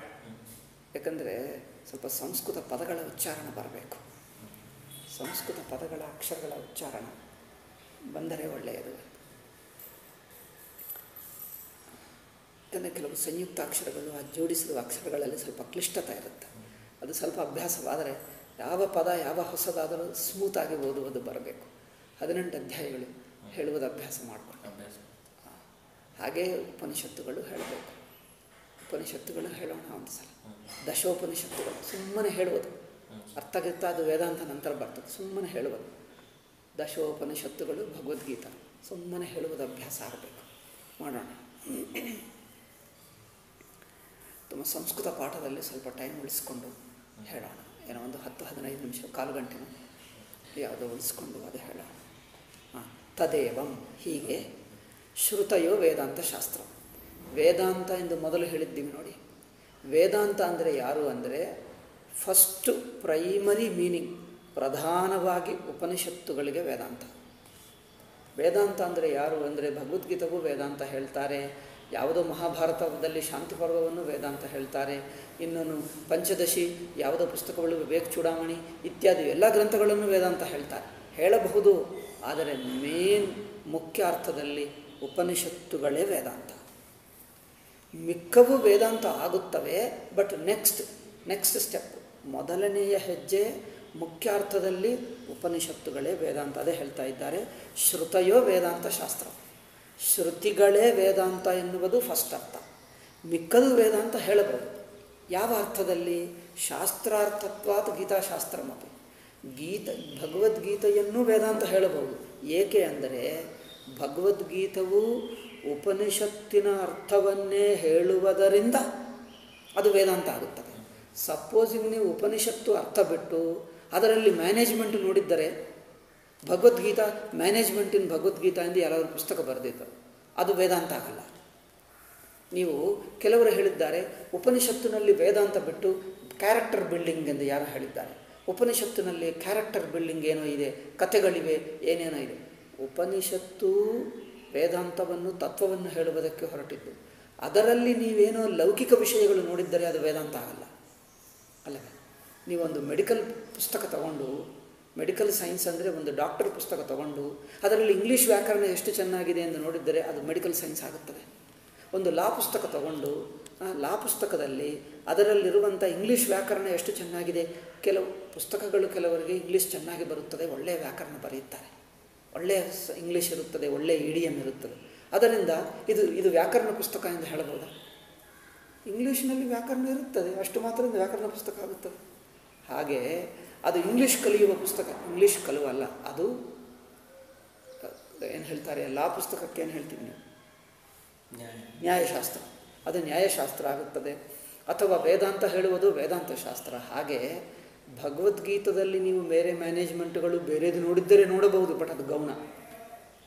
ವೇದಾಂತವು ಉಪನಿಷತ್ತಿನ ಅರ್ಥವನ್ನೇ ಬಿಡಿಸಿ ಹೇಳುವುದರಿಂದ ಭಗವದ್ಗೀತ ವೇದಾಂತವಾಯಿತು. ಅಂದರೆ ಆ ವೇದಾಂತದಲ್ಲಿ ಉಪನಿಷತ್ತಿನಲ್ಲಿ ಹೇಳಿದ ಅರ್ಥವನ್ನು ತಗೊಂಡು ಇಟ್ ಆ ವಾಕ್ಯಗಳನ್ನೇ ಇಟ್ಕೊಂಡು ಸ್ವಲ್ಪ ಬಿಡಿಸಿ ಹೇಳುತ್ತಾ ಇದೆ. ಅದರಿಂದ ಉಪನಿಷ ಭಗವದ್ಗೀತ ವೇದಾಂತ ಆಗುವುದು ಸ್ವತಂತ್ರವಾಗಿ ಆಗಲ್ಲ. ಉಪನಿಷತ್ತಿನ ಮೇಲೆ ಆಧಾರವಾಗಿಟ್ಟುಕೊಂಡು ಏನು ಹೇಳ್ತಾರೆ? ಆಧರಿಸಿಕೊಂಡು ತಾನು ವೇದಾಂತವಾಯಿತು. ಉಪನಿಷತ್ತುಗಳನ್ನು ಆಧರಿಸಿಕೊಂಡು ವೇದಾಂತವಾಯಿತೇ ಹೊರತು ತಾನು ತಾನು ನೇರಾಗಿ ವೇದಾಂತವಾಗಲಿಲ್ಲ. ಆ ಅರ್ಥದಲ್ಲಿ. ಉಪನಿಷತ್ತು ಮಾತ್ರ ವೇದಾಂತವಾಗುತ್ತದೆ. ಏಕೆ? ತಾನೇ ಸ್ವತಂತ್ರ ಅದು. ಇಷ್ಟು ಒಂದು ಚೂರು ವ್ಯತ್ಯಾಸ. ಆದ್ದರಿಂದ ಭಗವದ್ಗೀತವನ್ನು ವೇದಾಂತ ಎಂದು ಹೇಳಬಹುದು. ಈಗ ಮೂರನೇದು. ಏಕೆಂದರೆ ಮೊದಲು ವೇದಾಂತ ಹೇಳಿದ್ದೀವಲ್ಲ. ವೇದಾಂತದಲ್ಲಿ ಮೂರು ಪ್ರಸ್ಥಾನಗಳಿವೆ. ಮೂರು ಪ್ರಸ್ಥಾನಗಳಿವೆ. ಆದರೆ ಮೂರು ಸಮಾನವಾಗಿ ವೇದಾಂತ ಆಗುತ್ತವ ಅಂದರೆ ಆಗಲ್ಲ. ಉಪನಿಷತ್ತು ಫಸ್ಟ್ ಅರ್ಥದಲ್ಲಿ ವೇದಾಂತ. ಪ್ರಧಾನ, ಮೇನ್. ಮಿಕ್ಕ ಎರಡು ಬ್ರಹ್ಮಸೂತ್ರ ಭಗವದ್ಗೀತವು ವೇದಾಂತವಾಗುತ್ತದೆ. ಏಕೆ ಅಂದರೆ ಉಪನಿಷತ್ತಿನ ಅರ್ಥವನ್ನೇ ಇವು ಹೇಳುತ್ತಾ ಇವೆ, ಅದರಿಂದ ವೇದಾಂತ ಆಗುತ್ತೆ. ಬಟ್ ಉಪನಿಷತ್ತುಗಳೇ ಮುಖ್ಯ ಅರ್ಥದಲ್ಲಿ ವೇದಾಂತ. ಓಕೆ. ಆದ್ದರಿಂದ ವೇದ, ಈ ವಾಕ್ಯ ಹೇಳಿದ್ದೀವ? ಓದಿ. ವೇದಾಂತಾರ್ಥ ವೇದಾಂತಾರ್ಥ ನಿರ್ಣಾಯಕತ್ವಾತ್ ನಿರ್ಣಾಯಕತ್ವಾತ್ ಶಾರೀರಕಂ ಶಾರೀರಕಂ ವೇದಾಂತ ಮೀಮಾಂಸಾ ಶಾಸ್ತ್ರಂ ಹಾಂ ಆದರೂ ಈಗ ಶಾರೀರಿಕಂ ಎಂದಿದೆ ಶಾರೀರಿಕ ಅಂದರೆ ಬ್ರಹ್ಮಸೂತ್ರಗಳು. ಬ್ರಹ್ಮಸೂತ್ರಗಳು ವೇದಾಂತವೇ ಆಗುತ್ತದೆ ಬಟ್ ವೇದಾಂತ ಮೀಮಾಂಸ ಆಗುತ್ತವೆ ನೇರಾಗಿ ವೇದಾಂತ ಹೇಳುವಕ್ಕಿಂತ ವೇದಾಂತದ ಮೀಮಾಂಸಾ ಶಾಸ್ತ್ರ ಆಗುತ್ತದೆ. ಏಕೆ ಅಂದರೆ ವೇದಾಂತದಲ್ಲಿ, ಅಂದರೆ ಉಪನಿಷತ್ತಿನಲ್ಲಿ ಹೇಳಿರುವ ಅರ್ಥ, ಅದು ಯಾವುದು, ಉಪನಿಷತ್ತಿನ ತಾತ್ಪರ್ಯ ಯಾವುದು ಎಂದು ತಾತ್ಪರ್ಯ ನಿಶ್ಚಯಿಸುವುದಕ್ಕೆ ಇಲ್ಲಿ ಚರ್ಚೆ ನಡೆಯುತ್ತಾ ಇದೆ. ಬ್ರಹ್ಮಸೂತ್ರಗಳು ಏನು ಮಾಡುತ್ತವೆ? ಉಪನಿಷತ್ತಿನಲ್ಲಿ ಕೆಲವು ಕಾಂಟ್ರವರ್ಷಿಯಲ್ ಪಾಯಿಂಟ್ಸ್ ಇರುತ್ತವೆ, ಕೆಲವು ಸ್ಪಷ್ಟವಾಗಿಲ್ಲ. ಅದು ಏನು ಹೇಳುತ್ತಾ ಇದೆ, ಅದು ಸ್ಪಷ್ಟವಾಗ್ತಾ ಇಲ್ಲ. ಕೆಲವೊಮ್ಮೆ ಇಲ್ಲಿ ಒಂದು ಹೇಳುತ್ತದೆ, ಅಲ್ಲಿಂದ ಹೇಳುತ್ತದೆ. ಈ ಕಾಂಟ್ರಡಿಕ್ಷನ್ ಹೇಗೆ? ಈ ಪರಸ್ಪರ ವಿರೋಧಗಳನ್ನು, ಕೆಲವು ಅಸ್ಪಷ್ಟತ ವಿಷಯಗಳನ್ನು, ಆ ಅಂಶಗಳನ್ನು ಇಟ್ಟುಕೊಂಡು ಇದರ ಅರ್ಥ ಯಾವುದು ಎಂದು ಚರ್ಚೆ ಮಾಡಿ ತೀರ್ಮಾನ ಮಾಡ್ತಾರೆ. ಚರ್ಚೆ ಮಾಡಿ ತೀರ್ಮಾನ ಮಾಡುವುದರಿಂದ ಇದನ್ನು ಮೀಮಾಂಸ ಹೇಳ್ತೀವಿ. ಮೀಮಾಂಸ ಏನು? ಚರ್ಚೆ ಮಾಡಿ ವಿಷಯವನ್ನು ತೀರ್ಮಾನ ಮಾಡುವುದಕ್ಕೆ ಮೀಮಾಂಸಾ ಶಾಸ್ತ್ರ. ಬ್ರಹ್ಮಸೂತ್ರಗಳು ಬ್ರಹ್ಮಸೂತ್ರಗಳು ವೇದಾಂತ ಹೇಳಲ್ಲ, ವೇದಾಂತ ಮೀಮಾಂಸಾ ಶಾಸ್ತ್ರ ಹೇಳ್ತೀವಿ. ಅಂದ್ರೇನು ಉಪನಿಷತ್ತಿನಲ್ಲಿ ಹೇಳಿರುವ ಐಡಿಯಾಸನ್ನು ತಗೊಂಡು, ಅರ್ಥ ಅಂದರೆ ಐಡಿಯಾ. ಇಲ್ಲಿ ನೋಡಿ ವೇದಾಂತ ಅರ್ಥ ಅಂದರೆ ವೇದಾಂತದಲ್ಲಿ ಹೇಳಿರುವ ಐಡಿಯಾಗಳನ್ನು ತಗೊಂಡು ಅವುಗಳ ತತ್ವ ನಿರ್ಣಯ ಮಾಡ್ತದೆ ಈ ಐಡಿಯಾ ಇದಾ ಇದಾ. ಏನು ಹೇಳುತ್ತಾ ಇದೆ ವೇದಾಂತ? ಉಪನಿಷತ್ತುಗಳು ಏನು ಹೇಳುತ್ತಾ ಇದೆ ಎಷ್ಟೋ ಉಪನಿಷತ್ತುಗಳು ಸ್ಪಷ್ಟವಾಗಿಲ್ಲ. ಸ್ಪಷ್ಟವಾಗಿಲ್ಲ ಅಂದರೆ ಸಾಮಾನ್ಯರಿಗೆ ಅದು ಸ್ವಲ್ಪ ಕ್ಲಿಷ್ಟವಾಗಿರುತ್ತದೆ. ಕೆಲವೊಮ್ಮೆ ಕಾಂಟ್ರಡಿಕ್ಷನ್ ವಿರೋಧ ಇರುತ್ತದೆ, ಕೆಲವೊಮ್ಮೆ ಕನ್ಫ್ಯೂಷನ್ ಅನಿಸುತ್ತದೆ. ಎಲ್ಲೆಲ್ಲಿ ಇಂಥ ಅಂಶಗಳಿರುತ್ತವೋ ಅವುಗಳನ್ನೇ ಸ್ಪೆಷಲ್ ಆಗಿಟ್ಟುಕೊಂಡು ಸ್ಪಷ್ಟವಾಗಿ ಮೀಮಾಂಸ ಮಾಡಿ, ಚರ್ಚೆ ಮಾಡಿ, ಹಿಂದೆ ಮುಂದೆ ಎಲ್ಲ ವಿಶ್ಲೇಷಣೆ ಮಾಡಿ, ಇದರ ಅರ್ಥ ಇದು ಎಂದು ತಾತ್ಪರ್ಯ ನಿಶ್ಚಯ ಮಾಡ್ತಾರೆ. ಇದಕ್ಕಾಗಿ ಉಪನಿಷತ್ತಿನ ಐಡಿಯಾಸನ್ನು ತಗೊಂಡು ವಿಶ್ಲೇಷಣೆ ಮಾಡಿ, ಚರ್ಚೆ ಮಾಡಿ ತಾತ್ಪರ್ಯ ನಿಶ್ಚಯ ಮಾಡುವುದರಿಂದ ಬ್ರಹ್ಮಸೂತ್ರಗಳನ್ನು ವೇದಾಂತ ಮೀಮಾ, ವೇದಾಂತ ಮೀಮಾಂಸಾ ಶಾಸ್ತ್ರ ಹೇಳ್ತೀವಿ. ವೇದಾಂತ ಶಾಸ್ತ್ರ ಅಲ್ಲ, ವೇದಾಂತದ ಮೀಮಾಂಸಾ ಶಾಸ್ತ್ರ. ಅಂದರೆ ವೇದಾಂತವನ್ನು ಚರ್ಚಿಸಿ ಅರ್ಥ ನಿಶ್ಚಯ ಮಾಡುವುದು ತಾತ್ಪರ್ಯ ತೀರ್ಮಾನ ಮಾಡುವುದು. ಅದನ್ನು ವೇದಾಂತ ಮೀಮಾಂಸಾ ಶಾಸ್ತ್ರ ಎಂದು ಹೇಳ್ತಾರೆ. ಆದ್ದರಿಂದ ಈ ಅರ್ಥದಲ್ಲಿ ಬ್ರಹ್ಮಸೂತ್ರವು ವೇದಾಂತವೇ. ಆದರೆ ಸ್ವತಂತ್ರ ಅಲ್ಲ. ಉಪನಿಷತ್ತಿನ ಅರ್ಥವನ್ನೇ ಇಲ್ಲಿ ಚರ್ಚೆ ಮಾಡಬೇಕು. ಉಪನಿಷತ್ತು ಬಿಟ್ಟು ಇನ್ನೇನು ಹೇಳಿದರೆ ಅದಾಗಲ್ಲ. ಉಪನಿಷತ್ತು ಬಿಟ್ಟು ಏನು ಮಾಡ್ತಾರೆ? ಪುರಾಣದಲ್ಲಿ ಎಲ್ಲೋ ಏನೋ ಹೇಳಿದೆ, ಯಾರೋ ಒಂದು ವಿಷ್ಣುವೋ ಶಿವನೋ ಏನೋ ಹೇಳಿದೆ ಅಂದರೆ ವಿಷ್ಣುವಿನ ಕಥಾ, ಶಿವನ ಕಥಾ ಇದೆ ಅದು ತಂದುಬಿಟ್ಟು ಇದು ನೋಡಿ ಬ್ರಹ್ಮಸೂತ್ರಕ್ಕಿದ ಅರ್ಥ ಅಂದರೆ ಬ್ರಹ್ಮಸೂ, ಕೆಲವರು ಹಾಗೆ ಮಾಡಿದ್ದಾರೆ ಕೆಲವರು ಬ್ರಹ್ಮಸೂತ್ರದ ಅರ್ಥ ಹೇಳು ಅಂದರೆ ಉಪನಿಷತ್ತನ್ನು ಪಕ್ಕಕ್ಕಿಟ್ಟು ಎಲ್ಲೋ ಪುರಾಣದಲ್ಲಿ ಎಲ್ಲೋ ಒಂದು ವಾಯುಪುರಾಣ ಲಿಂಗ ಪುರಾಣ ಅಲ್ಲ, ಯಾವುದೋ ಒಂದು ಗರುಡ ಪುರಾಣದಲ್ಲಿ ಏನೋ ಎಲ್ಲೇ ಹೇಳಿದೆ ಅಂದರೆ ಅವನು ಏನೋ ಪದಕ್ಕೆ ಪದಕ್ಕೆ ಅರ್ಥ ನೋಡಬೇಕಂದ್ರೆ ಅವರು ಗರುಡನ್ನು ಹತ್ತಿದ ಎಂದು ಅದು ತಗೊಂಡು ಬಂದ. ಅವರೇನು ಶಿಶುಪಾಲನನ್ನು ಸಾಯಿಸಿದ ಆರ್ಥ ತಗೊಂಡು ಬಿಟ್ಟು ಅಂದ ಅದು ಪೌರಾಣಿಕವನ್ನು ಪೌರಾಣಿಕ ವಾಕ್ಯಗಳನ್ನು ಇಟ್ಟುಕೊಂಡು ಅವುಗಳ ಅರ್ಥ ನಿಶ್ಚಯ ತಾತ್ಪರ್ಯ ನಿರ್ಧರಿಸುವುದಕ್ಕೆ ಹೊರಟಿಲ್ಲ ಬ್ರಹ್ಮಸೂತ್ರಗಳು. ಬ್ರಹ್ಮಸೂತ್ರಗಳು ವೇದಾಂತ ಮೀಮಾಂಸಾ ಶಾಸ್ತ್ರ. ಉಪನಿಷತ್ತು ವಾಕ್ಯಗಳನ್ನು ಇಟ್ಟುಕೊ, ಹಿಡ್ಕೊಂಡು, ಇಟ್ಕೊಂಡು ಅವುಗಳ ತಾತ್ಪರ್ಯ ನಿಶ್ಚಯ ಮಾಡುವುದಕ್ಕೆ ಹೊರಟಿದ್ದು. ಕೆಲವರು ಉಪನಿಷತ್ತನ್ನು ಪಕ್ಕಕ್ಕಿಟ್ಟು ಯೋಗಶಾಸ್ತ್ರ ತರ್ತಾರೆ ಇನ್ನೇನು ಸಾಂಖ್ಯ ತರ್ತಾರೆ, ಏನೋ ಪುರಾಣಗಳನ್ನು ತರ್ತಾರೆ, ಬೇರೆ ಇಲ್ಲಿನ್ನು ಬೇರೆ ಪುರಾಣಗಳಲ್ಲಿ ಏನೋ ಇದೆ, ಮಂದಿರ ಇದೆ ಎಂದು ಮಂದಿರದಲ್ಲಿ ಏನೋ ಇದೆ, ನಮ್ಮ ಪುರಾಣ ಕಥೆಗಳು ಏನೋ ಇದೆ ಅಂದರೆ ಆ ಕಥೆಗಳನ್ನು ತಂದು ಅದಕ್ಕೆ ಅರ್ಥ ಹೇಳ್ತಾರೆ. ಪುರಾಣ ಕಥೆಗಳ ಅರ್ಥವನ್ನು ತೀರ್ಮಾನ ಮಾಡುವುದಕ್ಕೆ ಬ್ರಹ್ಮಸೂತ್ರಗಳು ಬಂದಿಲ್ಲ, ಉಪನಿಷತ್ತು ವಾಕ್ಯಗಳ ತಾತ್ಪರ್ಯವನ್ನು ನಿರ್ಧರಿಸುವುದಕ್ಕೆ ಬಂದಿವೆ ಬ್ರಹ್ಮಸೂತ್ರಗಳು. ಅದರಿಂದ ಉಪನಿಷತ್ತು ಮಂತ್ರಗಳನ್ನೇ ಇಟ್ಕೊಳ್ಳಬೇಕು ಅದಕ್ಕಾಗಿ ಫಿಸೀದಂ ಉಪನಿಷತ್ತು ಮಂತ್ರಗಳೇ ವಿಚಾರ ವಿಷಯ. ವಿಚಾರ ವಿಷಯ ಅಂದರೆ ಮೀಮಾಂಸಾ ವಿಷಯ. ಅಂದರೆ ಯಾವುದನ್ನು ಇಟ್ಕೊಂಡು ನಾವು ವಿಚಾರ ಮಾಡ್ತಾ ಇದ್ದೀವಿ, ಚರ್ಚೆ ಮಾಡ್ತಾ ಇದ್ದೀವಿ. ಚರ್ಚಾ ವಿಷಯ ಯಾವುದು? ಉಪನಿಷತ್ತು ಮಂತ್ರಗಳು. ಅಂದರೆ ಉಪನಿಷತ್ತು ಮಂತ್ರಗಳಲ್ಲಿರುವ ಐಡಿಯಾಸನ್ನೇ ವಿಚಾರ ವಿಷಯವಾಗಿಟ್ಟುಕೊಂಡು ವಿಚಾರ ಮಾಡಿ ಅವುಗಳ ತಾತ್ಪರ್ಯವೇನು, ಅವುಗಳ ನಿಜವಾದ ಅರ್ಥವೇನು ಎಂದು ತೀರ್ಮಾನ ಮಾಡ್ತೀವಿ. ಇದು ಬ್ರಹ್ಮಸೂತ್ರದ ಕೆಲಸ. ಅದಕ್ಕಾಗಿ ಮೊದಲು ಉಪನಿಷತ್ತು ಓದದೆ ನೇರಾಗಿ ಬ್ರಹ್ಮಸೂತ್ರ ಓದ ಯಾರೋ ಒಬ್ಬರು ಒಂದು ಒಂದು ಒಂದು ಮಠಕ್ಕೆ ಹೋದೆ, ಒಂದು ಚಿಕ್ಕ ಮಠ. ಚಿಕ್ಕ ಮಠ ಅಂದರೆ ಒಂದು ಪೀಠನೇ. ಚಿಕ್ಕದೇನಲ್ಲ ಅದು ದೊಡ್ಡದೇ ಪ್ರಸಿದ್ಧವೇ. ತುಂಬ ಅನೇಕ ಶತಮಾನಗಳಿವೆ. ಆ ಪೀಠಾಧಿಪತಿಗಳನ್ನು ಮಾತಾಡುತ್ತಾ ಇರುವಾಗ ಏನು ನಡೀತಾ ಇದೆ ಅಂದರೆ ನಾವು ವೇದಾಂತ ಹೇಳ್ತೀವಿ. ಬ್ರಹ್ಮಸೂತ್ರ ಭಾಷೆ ಅಲ್ಲಿ ಹೇಳ್ತಾ ಇದ್ದಿ, ಪಾಠ ಎಂದು ಹೇಳಿದ್ವಿ ಅವರು ಹೇಳಿದ ಅಯ್ಯೋ, ನನಗೆ ಬ್ರಹ್ಮಸೂತ್ರಕ್ಕೆ ಭಾಷೆ ಕೇಳಬೇಕೆಂದಿದೆ ಎಂದು ನಾನು ಹೇಳಿದ್ದೀನಿ, ಹೇಳ್ತೀನಿ ಅಂದರೆ ಒಂದು ಪೀಠಾಧಿಪತಿ ಅವನು. ಸೊ ಅವರು ಹೇಳ್ತಾರೆ ಬ್ರಹ್ಮಸೂ, ಅವರು ಏನದು ಅವರು ಏನೋ ಪೂಜಾ ಗೀಜೆ ಮಾಡುವುದು ಬಿಟ್ಟು ಏನು ಗೊತ್ತಿಲ್ಲ ಅವರಿಗೆ. ಉಪನಿಷತ್ತು ಕೇಳಲಿಲ್ಲ. ಉಪನಿಷತ್ತು ಕೇಳಿದರೆ ಬ್ರಹ್ಮಸೂತ್ರ ಏನು ಅರ್ಥವಾಗ್ತದೆ? ಉಪನಿಷತ್ತು ಮಂತ್ರಗಳನ್ನು ಇಟ್ಕೊಂಡೇ ಅದು ಚರ್ಚೆ ಮಾಡ್ತಾ ಇವೆ ಅದು ಅದು ಗೊತ್ತಿಲ್ಲದಿದ್ದರೆ ಇದೇನು ಹೇಗೆ ಅರ್ಥವಾಗ್ತದೆ? ಹಾಗೆ ಬ್ರಹ್ಮಸೂತ್ರ ಅಂದರೆ ಏನೋ ಎಲ್ಲರೂ ಪ್ರಸಿದ್ಧ ಗ್ರಂಥ. ಶಂಕರಾಚಾರ್ಯರ ನಿಜವಾದ ಗ್ರೇಟ್ನೆಸ್ ಬ್ರಹ್ಮಸೂತ್ರ ಭಾಷ್ಯದಲ್ಲಿ ಕಂಡು ಬರ್ತದೆ ಹೇಳ್ತಾರೆ ನಿಜ. ಶಂಕರಾಚಾರ್ಯರ ಗ್ರೇಟ್ನೆಸ್ ನೋಡಬೇಕಂದರೆ ಉಪನಿಷತ್ತಿನಲ್ಲಿ ಕಂಡು ಬರ್ತದೆ. ಆದರೆ ಬ್ರಹ್ಮಸೂತ್ರದಲ್ಲಿ ಅವರ ಹೈ ಪೀಕ್ ಕಂಡು ಬರ್ತದೆ. ಎಷ್ಟು ಸೂಕ್ಷ್ಮವಾಗಿ ಚರ್ಚೆ ಮಾಡಿದರೆ ಯಾರು ಅವರನ್ನು ಸೋಲಿಸೋಕ್ಕಾಗಲ್ಲ, ಅವರು ಎತ್ತಿ ಒಂದು ಇದು ಎಂದು ತೀರ್ಮಾನ ಮಾಡಿದರೆ ಈಗ ಎಲ್ಲರೂ ಬಾಯಿ ಮುಚ್ಚಲೇಬೇಕೆಂದು ಮಾತಾಡೋಕ್ಕಾಗಲ್ಲ. ಆ ಶಂಕರಾಚಾರ್ಯರ ಗ್ರೇಟ್ನೆಸ್ ಬ್ರಹ್ಮಸೂತ್ರ ಭಾಷ್ಯದಲ್ಲಿ ಕಂಡು ಬರ್ತಾ ಇದೆ. ಅಷ್ಟು ಬಿಗಿಯಾಗಿ ವಾದಿಸ್ತಾರೆ. ಎಷ್ಟು ಟೈಟ್ ವಾದಿಸ್ತಾರೆ ಅಂದರೆ ಟೈಟ್ ಆರ್ಗ್ಯುಮೆಂಟ್. ಈಗ ಯಾವ ಲಾಯರ್ ಆಗಲಿ ಎಂಥ ದೊಡ್ಡ ಪಂಡಿತನಾಗಲಿ ಅವರನ್ನು ಎದುರಾಗಿ ವಾದಿಸೋಕ್ಕಾಗಲ್ಲ. ಅಷ್ಟು ಅದ್ಭುತವಾದ ಚರ್ಚಾ. ಬ್ರಹ್ಮಸೂತ್ರ ಭಾಷ್ಯದಲ್ಲಿ ಶಂಕರರದು ಕಂಡು ಬರ್ತದೆ. ಅದಕ್ಕಾಗಿ ಶಂಕರಾಚಾರ್ಯರು ಭಾಷ್ಯಕಾರ ಅಂದರೆ ಭಾಷ್ಯ ಬರೆದಿದ್ದಕ್ಕೆ ಭಾಷ್ಯಕಾರ. ಅವರ ಆ ಗ್ರೇಟ್ನೆಸ್ ಅವರ ಬುದ್ಧಿಯ ಚಾತುರ್ಯ, ಬುದ್ಧಿಯ ಏನು ಹೇಳಬೇಕು? ವೈಶಿಷ್ಟ್ಯ ಬ್ರಹ್ಮಸೂತ್ರ ಭಾಷ್ಯದಲ್ಲಿ ನೋಡಬೇಕು. ಇದು ಕೇಳಿ ನಾನು ಬ್ರಹ್ಮಸೂತ್ರ ಓದ್ತೀನಿ. ಒಳ್ಳೆಯದೇ, ಬಟ್ ಓದುವುದಕ್ಕೆ ಮೊದಲು ಸ್ವಲ್ಪ ಉಪನಿಷತ್ತಿನ ಭಗವದ್ಗೀತೆಯ ಜ್ಞಾನ ಬೇಕು.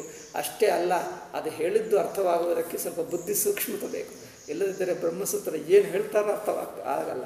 ಎಲ್ಲೆಲ್ಲ ಹೋಗಿಬಿಡ್ತೀವಿ. ಜನರು ಓಡಿ ಹೋಗುತ್ತಾರೆ ಬ್ರಹ್ಮಸೂತ್ರ ಭಾಷೆಗಳು ಅಷ್ಟು ಕ ಅದು ಎಷ್ಟು ಆನಂದಕರವಾಗಿದೆಯೋ ಅಷ್ಟು ಕ್ಲಿಷ್ಟವೂ ಆಗಿದೆ. ಅಂದರೆ ಭಾಷಾ ಕ್ಲಿಷ್ಟ ಅಲ್ಲ. ಶಂಕರಾಚಾರ್ಯರ ಭಾಷೆ ತುಂಬ ಸಿಂಪಲ್ ಆಗಿರುತ್ತದೆ ಬಟ್ ಐಡಿಯಾ ಮಾತ್ರ ತುಂಬ ಟಫ್ ಇರುತ್ತದೆ ಐಡಿಯಾ. ಬುದ್ಧಿಗೆ ಬುದ್ಧಿ ಸೂಕ್ಷ್ಮವಾಗಿರಬೇಕು. ಇಲ್ಲದಿದ್ದರೆ ಅರ್ಥವಾಗಲ್ಲ. ಪ್ರಸನ್ನ ಗಂಭೀರಂ ಎಂದು ಹೇಳ್ತಾರೆ. ಭಾಷಾ ಪ್ರಸನ್ನ. ಪ್ರಸನ್ನ ಅಂದರೆ ಸಿಂಪಲ್ ಭಾಷಾ, ಸರಳವಾದ ಭಾಷಾ. ಭಾಷೆ ಸರಳವಾಗಿರುತ್ತದೆ, ಭಾವ ಮಾತ್ರ ಗಂಭೀರವಾಗಿರುತ್ತೆ. ಅದು ಶಂಕರರ ವೈಶಿಷ್ಟ್ಯ. ಪ್ರಸನ್ನ ಗಂಭೀರಂ ಎಂದು ಶಂಕರ ಭಾಷ್ಯ. ಭಾಷೆ ಸಿಂಪಲ್ ನೋಡಿಕೊಂಡು ಆ ಏನಿದೆ ಅಂದರೆ, ಭಾಷೆ ಸಿಂಪಲ್ ಆಗಿರಬಹುದು, ಭಾವ ಮಾತ್ರ ಎಷ್ಟು ಗಂಭೀರ ಅಂದರೆ ಬುದ್ಧಿಗೆ ಹಿಡಿಯುವುದೇ ಅಲ್ಲ. ಬುದ್ಧಿಗೆ ಹಿಡಿಯುವುದೇ ಅಲ್ಲ. ಎಷ್ಟೋ ಹೇಳಿ ಹೇಳಿ ಬಿಡಿಸಿ ಬಿಡಿಸಿ ಬಿಡಿಸಿ ಬಿಡಿಸಿ ಹೇಳಿದಾಗ ಅರ್ಥವಾಗ್ತದೆ ಅವಾಗ ಅನಿಸುತ್ತೆ ಈ ಶಂಕರಾಚಾರ್ಯ ಹೇಗೆ ಹೇಳಿದ್ದಾರೆ? ಮರ, ಅವ, ಅದು ಅದು ಬುದ್ಧಿ, ಅದು ಸಾಮಾನ್ಯ ಬುದ್ಧಿ ಅಲ್ಲ. ಅದಕ್ಕಾಗಿ ಆ ಸೂತ್ರ ಭಾಷ್ಯದಲ್ಲಿ ಅವರ ಬುದ್ಧಿ ಪ್ರಕರ್ಷ, ಬುದ್ಧಿ ವೈಶಿಷ್ಟ್ಯ ಅಲ್ಲಿ ಕಂಡು ಬರ್ತಾರೆ. ಅದು ನೋಡಿಕೊಂಡು ಜನರದ ಸಹ ನಾನು ಬ್ರಹ್ಮಸೂತ್ರ ಕೇಳ್ತೀನಿ. ಎಲ್ಲರಿಂದ ಆಗಲ್ಲ, ಅದು ಗಂಭೀರತೆ, ತುಂಬ ಗಂಭೀರವಾಗಿದೆ, ಎಲ್ಲರಿಗೆ ಆಗಲ್ಲ. ಆಯಿತು. ಈಗ ಉಪನಿಷತ್ತು ಯಾವುದು ಅಂದರೆ ಮೂರು ಪ್ರಸ್ಥಾನಗಳು ಎಂದು ಹೇಳ್ತೀವಿ. ಇಲ್ಲಿ ಅನುಬಂಧ ಚತುಷ್ಟಯ ಹೇಳಬೇಕು. ಅನುಬಂಧ ಚತುಷ್ಟಯ ಅಂದರೆ ಇದರ ಈ ಉಪನಿಷತ್ತಿನಲ್ಲಿ ಅಥವಾ ವೇದಾಂತದಲ್ಲಿ ವಿಷಯ ಯಾವುದು ಪ್ರಯೋಜನ ಯಾವುದು ಸಂಬಂಧ ಯಾವುದು ಅಧಿಕಾರ ಯಾವುದು ಎಂದು ನಾಲ್ಕು ಅಂಶಗಳೇ ಹೇಳಬೇಕು. ಮುಂದಿನ ವಾಕ್ಯ ಓದಿ. ಬ್ರಹ್ಮಾತ್ಮತತ್ವಂ ಬ್ರಹ್ಮಾತ್ಮತತ್ವಂ ವೇದಾಂತಶಾಸ್ತ್ರಸ್ಯ ವೇದಾಂತಶಾಸ್ತ್ರಸ್ಯ ವಿಷಯ. ವಿಷಯ. ವೇದಾಂತ ವಾಕ್ಯಗಳನ್ನು ನಾವು ಕೇಳಿ ಅವುಗಳ ತಾತ್ಪರ್ಯ ನಿಶ್ಚಯ ಮಾಡ್ತೀವಿ ಚರ್ಚೆ ಮಾಡಿ ವಿಶ್ಲೇಷಣೆ ಮಾಡಿ ಬ್ರಹ್ಮಸೂತ್ರದಲ್ಲಿ. ಆದರೆ ವೇದಾಂತ ಶಾಸ್ತ್ರದ ಅಲ್ಟಿಮೇಟ್ ಗುರಿ ಏನು? ವೇದಾಂತ, ವೇದಾಂತವು ಅಂದರೆ ಉಪನಿಷತ್ತುಗಳ ತಾತ್ಪರ್ಯವೇ ಭಗವದ್ಗೀತೆ ತಾತ್ಪರ್ಯ. ಭಗವದ್ಗೀತೆಗೆ ಸ್ವಂತ ತಾತ್ಪರ್ಯ ಬಿಡಿಯಾಗಿಲ್ಲ ಉಪನಿಷತ್ತು ಯಾವುದು ಗುರಿಯಾಗಿ ಇಟ್ಕೊಂಡು ಹೇಳಿದ್ದೋ ಆ ಫೈನಲ್ ಗುರೇ ಭಗವದ್ಗೀತ ಹೇಳ್ತದೆ ಬ್ರಹ್ಮಸೂತ್ರ ಹೇಳ್ತದೆ ಹೊರತು ಅವುಗಳಿಗೆ ಏನು ಸ್ವಂತ ವಿಷಯವಿಲ್ಲ. ವಿಷಯ ಅಂದರೆ ಸಬ್ಜೆಕ್ಟ್ ಮ್ಯಾಟರ್ ನೀವು ಹೇಳುವ ಮೇನ್ ಟಾಪಿಕ್ ಏನು? ಮೇನ್ ಕೊನೆಯ ಗುರಿ ಏನು? ಅಂದರೆ ಬ್ರಹ್ಮಾತ್ಮ ತತ್ವ. ಆತ್ಮವೇ ಬ್ರಹ್ಮ ಎಂದೇ ಎಂಬುದೇ ಉಪನಿಷತ್ತಿನ ತಾತ್ಪರ್ಯ. ಅಲ್ಲ, ಉಪನಿಷತ್ತಿನಲ್ಲಿ ಸೃಷ್ಟಿ ಇದೆ, ಪಂಚಕೋಶಗಳಿವೆ, ಇನ್ನೇನೋ ಇದೆ, ಅದೆಲ್ಲ ಸಲಕರಣೆಗಳು. ಪಂಚಕೋಶ ಹೇಳ್ತದೆ, ಅವಸ್ಥಾತ್ರಯ ಹೇಳ್ತದೆ, ಸೃಷ್ಟಿ ಹೇಳ್ತದೆ, ಉಪಾಸನ ಹೇಳ್ತದೆ, ಅದೆಲ್ಲ ಸಲಕರಣೆಗಳು. ಅದೆಲ್ಲ ಸೇರಿಸಿ ಬಿಟ್ಟು ಒಟ್ಟು ಕೊನೆಯ ಗುರಿ ನಾನು ಬ್ರಹ್ಮ, ಅಹಂ ಬ್ರಹ್ಮಾಸ್ಮಿ ತತ್ಮವಸಿ. ಇದೊಂದೇ ಇಡೀ ಉಪನಿಷತ್ತಿನ ಸಾರ. ಎಲ್ಲ ಉಪನಿಷತ್ತುಗಳ ಸಾರ ಇದೊಂದೇ ವಾಕ್ಯ. ಅದಕ್ಕಾಗಿ ಇದನ್ನು ತಾತ್ಪರ್ಯ ವಾಕ್ಯ ಎಂದು ಹೇಳ್ತೀವಿ. ಮಹಾವಾಕ್ಯ ಅಂದರೆ ಅರ್ಥವೇನು? ಮಹಾವಾಕ್ಯ ಅಂದರೆ ಉದ್ದ ಇಲ್ಲಿಂದ ಅಲ್ಲಿಗಿದೆ ಒಂದು ಪ್ಯಾರಾಗ್ರಾಫ್ ಎಂದು ಅರ್ಥ ಅಲ್ಲ. ಮಹಾವಾಕ್ಯ ಅಂದರೆ ಮಹಾ ತಾತ್ಪರ್ಯ ವಾಕ್ಯ. ಎಲ್ಲ ಉಪನಿಷತ್ತುಗಳ ಕೊನೆಯ ಗುರಿ ಏನು? Final message. ಇಡೀ ಉಪನಿಷತ್ತುಗಳ ಫೈನಲ್ ತಾತ್ಪರ್ಯ, ಒಟ್ಟರ್ಥ. ಹೇಳಬೇಕಂದ್ರೆ ಮಹಾತಾತ್ಪರ್ಯ ಅಂದರೆ ಒಟ್ಟರ್ಥ. ಒಟ್ಟರ್ಥ ಹೇಳ್ತೀರ ಕನ್ನಡದಲ್ಲಿ? ಒಟ್ಟರ್ಥ. ಫೈನಲ್ ಮೆಸೇಜ್ ಫೈನಲ್ ತಾತ್ಪರ್ಯ ಏನು? ಈಗ ಇದು ಎಂದು ಹೇಳ್ತೀವಿ ಒಂದು ಮಾತಿನಲ್ಲಿ ಹೇಳಿಬಿಡಿ. ನೀನೇ ಬ್ರಹ್ಮ. ಇಡೀ ಉಪನಿಷತ್ತುಗಳ ಒಟ್ಟರ್ಥ ಇದು. ಈ ಒಂದನ್ನು ನಿರೂಪಿಸುವುದಕ್ಕೆ ಇಷ್ಟೆಲ್ಲ ಉಪನಿಷತ್ತುಗಳು ಬಂದಿವೆ. ಏನೋ ಏನೋ ಏನೋ ಅನೇಕ ವಿಷಯಗಳು ಹೇಳ್ತದೆ ಅದೆಲ್ಲ ಕೊನೆಗೂ ಇದಕ್ಕೋಸ್ಕರ. ಇದು ಬಿಟ್ಟು ಬೇರೆದಿಲ್ಲ. ಅದಕ್ಕೋಸ್ಕರ ಇಲ್ಲಿ ಹೇಳ್ತಾ ಇದ್ದಾರೆ ನೋಡಿ. ಆ, ಬ್ರಹ್ಮಾತ್ಮ ತತ್ವ ವೇದಾಂತ ಶಾಸ್ತ್ರಸ್ಯ ವಿಷಯ. ವೇದಾಂತ ಶಾಸ್ತ್ರದ ಫೈನಲ್ ಮೆಸೇಜ್ ಒಟ್ಟರ್ಥ ಏನು ಅಂದರೆ ಬ್ರಹ್ಮಾತ್ಮ ತತ್ವಂ. ಅಂದರೆ ಆತ್ಮವೇ ಬ್ರಹ್ಮ ಎಂಬ ತತ್ವವೇ ಅದನ್ನೇ ಇಟ್ಟುಕೊಂಡು ಉಪನಿಷತ್ತು ಹೇಳ್ತಾ ಇದೆ. ಜನರು ಅದು ಬಿಟ್ಟು ಬೇರೆ ಬೇರೆ ಏನಾದರೂ ಹೇಳುವಕ್ಕೆ ಹೋದರೆ ಉಪನಿಷತ್ತಿಗೆ ಅರ್ಥ ತಿರುಚಿದಂತೆ ಆಗುತ್ತೆ. ಉಪನಿಷತ್ತಿನಲ್ಲಿ ಏನೋ ನಮ್ಮ ಏನದು ಏನದು ಏನೇನೋ ಹೇಳ್ತಾರೆ. ಸಮಾಜ ವಿಷಯದಲ್ಲಿ ಏನೋ ಇದೆ, ರಾಜನೀತಿ ವಿಷಯ ಬಗ್ಗೆ ಏನೋ ಇದೆ, ರಾಜರು ಹೇಗಿರಬೇಕೆಂದು ಏನಿದೆ, ಕುಟುಂಬದಲ್ಲಿ ಪತಿ ಪತ್ನಿ ಹೇಗಿರಬೇಕೆಂದು ಏನಿದೆ, ಅಥವಾ ಏನೇನೋ ಸ್ತ್ರೀವಾದಿಗಳ ಕುರಿತು ಏನೋ ಮಾತುಗಳಿವೆ. ಅದೆಲ್ಲ ವಿಷಯ ಅಲ್ಲಪ್ಪ. ಆ ದಾರಿಯಲ್ಲಿ ಹೇಳುತ್ತಾ ಏನೇನೋ ಹೇಳಬಹುದು. ನೀತಿಶಾಸ್ತ್ರ ಇದೆ. ನೀತಿಶಾಸ್ತ್ರ ಹೇಳ್ತದೆ ಕೆಲವು ಸದ್ಗುಣಗಳು. ಸದ್ಗುಣಗಳು ಏಕೆ ಅಂದರೆ ಅಂತರ್ಮುಖವಾಗಿ ಮನಸ್ಸು ಶುದ್ಧವಾದರೆ ತತ್ವವನ್ನು ತಿಳ್ಕೊಳ್ಳುವುದಕ್ಕೆ. ಅಷ್ಟೇ ಹೊರತು ಸದ್ಗುಣಗಳನ್ನು ಹೇಳುವುದಕ್ಕೆ ಉಪನಿಷತ್ತು ಬಂದಿಲ್ಲ. ಸದ್ಗುಣಗಳಿಗೆ ಬೇರೆ ಶಾಸ್ತ್ರಗಳಿವೆ. ಕರ್ಮಕಾಂಡ ತಿಳ್ಕೊ. ಸದ್ಗುಣಗಳನ್ನು ಸುಮ್ಮನೆ ಒಂದು ಸಲಕರಣ ಆಗಿ ಅಂಶವಾಗಿ ಹೇಳುತ್ತದೆ. ಪಾಕ್ಷಿಕವಾಗಿ ಇಟ್ಕೊಳ್ತದೆ. ಮುಖ್ಯ ಗುರಿ ಬ್ರಹ್ಮಾತ್ಮ ತತ್ವ. ಅದೊಂದೇ. ಅದನ್ನು ಗೌಣ ಮಾಡಿಬಿಟ್ಟು ಉಪನಿಷತ್ತಿನಲ್ಲಿ ಬೇರೆ ಇದೆ, ಅದೇನೋ ಇದೆ, ಇನ್ನೇನೋ ಇದೆ ಅಂತ ಹೇಳಬಾರ್ದು. ಅವ್ರು ಹೇಳುವರು ಶುರು ಮಾಡಿಬಿಟ್ರು ಈಗ. ಉಪನಿಷತ್ತಿನಲ್ಲಿ ಪಂಚಭೂತಗಳೆಂದರೆ ಏನು? ಪಂಚಭೂತಗಳು ಹೇಳುವುದಕ್ಕೆ ಉಪನಿಷತ್ತು ಬಂದಿಲ್ಲ, ಬ್ರಹ್ಮತತ್ವ ಹೇಳುವುದಕ್ಕೆ ಬಂದಿದೆ. ಉಪನಿಷತ್ತಿನಲ್ಲಿ ಪೃಥ್ವಿ ಅಂದರೆ ಏನಿದೆ? ಪೃಥ್ವಿ ಎಷ್ಟು ದೊಡ್ಡದಿದೆ? ಪೃಥ್ವಿ ಗೋಲಾಕಾರವಿದೆಯಾ? ಹೇಗಿದೆ ಅಂದರು. ಉಪನಿಷತ್ತು ಪೃಥ್ವಿ ಹೇಗಿದೆ ಅಂತ ಹೇಳೋಕ್ಕೆ ಬಂದಿಲ್ಲ. ಪೃಥ್ವಿ ನೇರಾಗಿ ಕಂಡು ಬರ್ತದೆ ನೋಡ್ಕೊ. ಅಲ್ಲ. ಸೂರ್ಯೋದಯವಾಗುತ್ತಾನೆ ಸೂರ್ಯ ಉದಯವಾಗುತ್ತಾನೆ, ಅಸ್ತವಾಗ್ತಾನೆ ಶ್ರುತಿ ಹೇಳಬೇಕಾಗಿಲ್ಲ. ಶ್ರುತಿ ಬ್ರಹ್ಮಾತ್ಮ ತತ್ವ ಹೇಳ್ತದೆ ಉಪನಿಷತ್ತುಗಳು. ಸೂರ್ಯ ಸೂರ್ಯನ ಉದಯವಾಗುತ್ತಾನೆ, ಅಸ್ತವಾಗ್ತಾನೆ, ಎಲ್ಲರಿಗೆ ಕಂಡು ಬರ್ತದೆ ನೋಡ್ಕೊ. ಸಾಕು. ಅಂದರೆ ಉಪನಿಷತ್ತಿನ ಮೇನ್ ವಿಷಯವೇನು? ಅದು ಪಕ್ಕಕ್ಕಿಟ್ಟು ಆ, ಅದನ್ನೇ ಪ್ರತಿಪಾದಿಸುವುದಕ್ಕೆ ಬೇರೆ ಬೇರೆ ಎಷ್ಟೋ ಉದಾಹರಣೆಗಳಲ್ಲಿ ರಜ್ಜು ಸರ್ಪ ಹೇಳಿದ್ದರೆ, ಹಗ್ಗ ಹಾವು ಏನು ಹಗ್ಗ ಹಾವು ಹೇಳುವುದಕ್ಕೆ ಉಪನಿಷತ್ತು ಬಂತ ಏನು? ಹಗ್ಗ ಹಾವು ನಮ್ಮ ಅನುಭವದಲ್ಲೇ ಇದೆ ಅದನ್ನೇಕೆ ಹೇಳುವುದು? ನಮ್ಮ ಅನುಭವದಲ್ಲೇ ಇದೆ. ಹಾಗೆ ಅನೇಕ ವಿಷಯಗಳನ್ನು ಹೇಳ್ತದೆ. ಆದರೆ ಅನೇಕ ವಿಷಯಗಳನ್ನು ಗುರಿಯಾಗಿಟ್ಕೊಂಡು ಹೇಳಲ್ಲ, ಅವುಗಳ ಸಲಕರಣ. ಇವುಗಳೆಲ್ಲ ಪಂಚಕೋಶಗಳು, ಅವಸ್ಥಾತ್ರಯಗಳು, ಇದೆಲ್ಲ ಸಲಕರಣೆಯಾಗಿ ಬಳಸು, ಬಳಸಿ ಬ್ರಹ್ಮಾತ್ಮ ತತ್ವವನ್ನೇ ಹೇಳ್ತಾರೆ. ಅದು ತಿಳ್ಕೊ, ಅದಕ್ಕೋಸ್ಕರ. ಅದು ತಿಳ್ಕೊಂಡ್ರೆ ಉಪನಿಷತ್ತು ಮುಗಿಯಿತು ಅದು ತಿಳಿಯದಿದ್ದರೆ ನಿಮಗೆ ಬೇರೆ ಏನು ತಿಳಿದಿದ್ದರೂ ಉಪನಿಷತ್ತು ಅರ್ಥವಾಗಲಿಲ್ಲ. ಇದೊಂದೇ ಮೇನ್ ವಿಷಯ. ವಿಷಯ ಅಂದರೆ ಅದರ ಕ್ರಕ್ಸ್ ಅದರ ಎಸ್ಸೆನ್ಸ್ ಅದರ ಸಾರ, ಅದರ ತಾತ್ಪರ್ಯ, ಅದರ ಮೇನ್ ಸಬ್ಜೆಕ್ಟ್ ಮೇನ್ ಟಾಪಿಕ್ ಅದು. ಅದರಿಂದ ಬ್ರಹ್ಮಾತ್ಮ ವೇದಾಂತ ಶಾಸ್ತ್ರಸ್ಯ ವಿಷಯ. ಈಗ ಪಂಡಿತರನ್ನು ಕೇಳಿ. ಅದರಲ್ಲಿ ಏನಿದೆ ಉಪನಿಷತ್ತು ಉಪನಿಷತ್ತು ತುಂಬ ಹೇಳ್ತದೆ, ಅವಸ್ಥಾತ್ರ ಹೇಳ್ತದೆ, ಪಂಚಕೋಶಗಳನ್ನು ಹೇಳ್ತದೆ, ಸೃಷ್ಟಿ ಹೇಳ್ತದೆ. ಉಪನಿಷತ್ತಿನಲ್ಲಿ ಅನೇಕ ವಿಷಯಗಳಿವೆ. ಅನೇಕ ವಿಷಯಗಳಿಲ್ಲ. ತಿಳ್ಕೊ, ಉಪನಿಷತ್ತಿನಲ್ಲಿ ಅನೇಕ ವಿಷಯ, ಒಂದೇ ಒಂದು ವಿಷಯ ಇದೆ. ಪಂಡಿತರನ್ನು ಕೇಳಿದರೆ ಉಪನಿಷತ್ತು ಅನೇಕ ವಿಷಯಗಳನ್ನು ಹೇಳ್ತದೆ. ಅನೇಕ ಯಾವುದು ಹೇಳಲ್ಲ, ಒಂದೇ ಒಂದು ಹೇಳ್ತದೆ. ಜೀವ ಜೀವನೇ ಬ್ರಹ್ಮ ಎಂದು ಅದೊಂದೇ ಗುರಿ, ಮಿಕ್ಕದೆಲ್ಲ ದಾರಿಯಲ್ಲಿ ಹೇಳುವ ವಿಷಯಗಳಷ್ಟೇ. ಹಾಗೆ ಈಗ ಪ್ರಯೋಜನ. ಮುಂದಿನ ವಾಕ್ಯ ಓದು. ಬ್ರಹ್ಮಾತ್ಮ ವಿಜ್ಞಾನಂ ಬ್ರಹ್ಮಾತ್ಮ ವಿಜ್ಞಾನಂ ಅವಗತಿ ರೂಪಂ ಅವಗತಿ ರೂಪಂ ಶಾಸ್ತ್ರಸ್ಯ ಪ್ರಯೋಜನಂ. ಶಾಸ್ತ್ರಸ್ಯ ಪ್ರಯೋಜನಂ. ನಾನು ಬ್ರಹ್ಮ ಎಂಬುದು ವಿಜ್ಞಾನಂ ಎಂದಿಂದೆ ಹೇಳಿದರು. ವಿಜ್ಞಾನಂ ಅಂದರೆ ಅವಗತಿ. ಅವಗತಿ ಅಂದರೆ ಅನುಭವ. ಹಿಂದೆ ಹೇಳಿದ್ದೀವಿ ನೋಡಿ. ಅನುಭವ ಅವಗತಿ ವಿಜ್ಞಾನ ಮೂರು ಒಂದೇ ಅರ್ಥ. ಪರ್ಯಾಯ ಪದಗಳು. ಅಂದರೆ ಸಮಾನಾರ್ಥಕ ಪದಗಳು. ಅದರಿಂದ ಬ್ರಹ್ಮಾತ್ಮ ವಿಜ್ಞಾನಂ, ನಾನು ಬ್ರಹ್ಮ ಎಂಬ ಯಾವುದು ಅನುಭವ ರೂಪ ಜ್ಞಾನವಾಗುತ್ತದೋ, ಈ ಅನುಭವ ರೂಪ ಜ್ಞಾನವು ಬ್ರಹ್ಮ, ಬ್ರಹ್ಮಾತ್ಮ ಜ್ಞಾನ. ಅಂದರೆ ಬ್ರಹ್ಮಜ್ಞಾನವನ್ನು ಪಡ್ಕೊಳ್ಳುವುದೇ ವೇದಾಂತ ಶಾಸ್ತ್ರದ ಪ್ರಯೋಜನ. ವೇದಾಂತ ಏನು ಹೇಳುತ್ತದೆ? ಜೀವನು ಬ್ರಹ್ಮ ಎನ್ನುವುದು ತತ್ವವನ್ನು ಉಪದೇಶ ಮಾಡುತ್ತದೆ. ಈ ಉಪದೇಶ ಮಾಡಿದರೆ ಪ್ರಯೋಜನವೇನು? ಆ ಅನುಭವ ರೂಪ ಜ್ಞಾನ ಎಲ್ಲರಿಗೂ ಹುಟ್ಟುತ್ತದೆ. ಅದೇ ಪ್ರಯೋಜನ. ಬೇರೆ ಪ್ರಯೋಜನಕ್ಕಾಗಿ ಉಪನಿಷತ್ತು ಓದಬಾರದು. ಪರೀಕ್ಷೆ ಪಾಸ್ ಆಗುವುದಕ್ಕೆ ಉಪನಿಷತ್ತು ಓದ್ತೀನಿ, ಅಥವಾ ನಮ್ಮ ಹಿಂದೂ ಧರ್ಮ ರಕ್ಷಿಸುವುದಕ್ಕೆ ಉಪನಿಷತ್ತು ಓದ್ತೀನಿ. ಹಿಂದೂ ಧರ್ಮ ರಕ್ಷಿಸುವುದಕ್ಕೆ ಬೇರೆ ಇನ್ನೇನಾದರೂ ಮಾಡ್ಕೊ ಉಪನಿಷತ್ತು ಓದಬೇಕಾಗಿಲ್ಲ.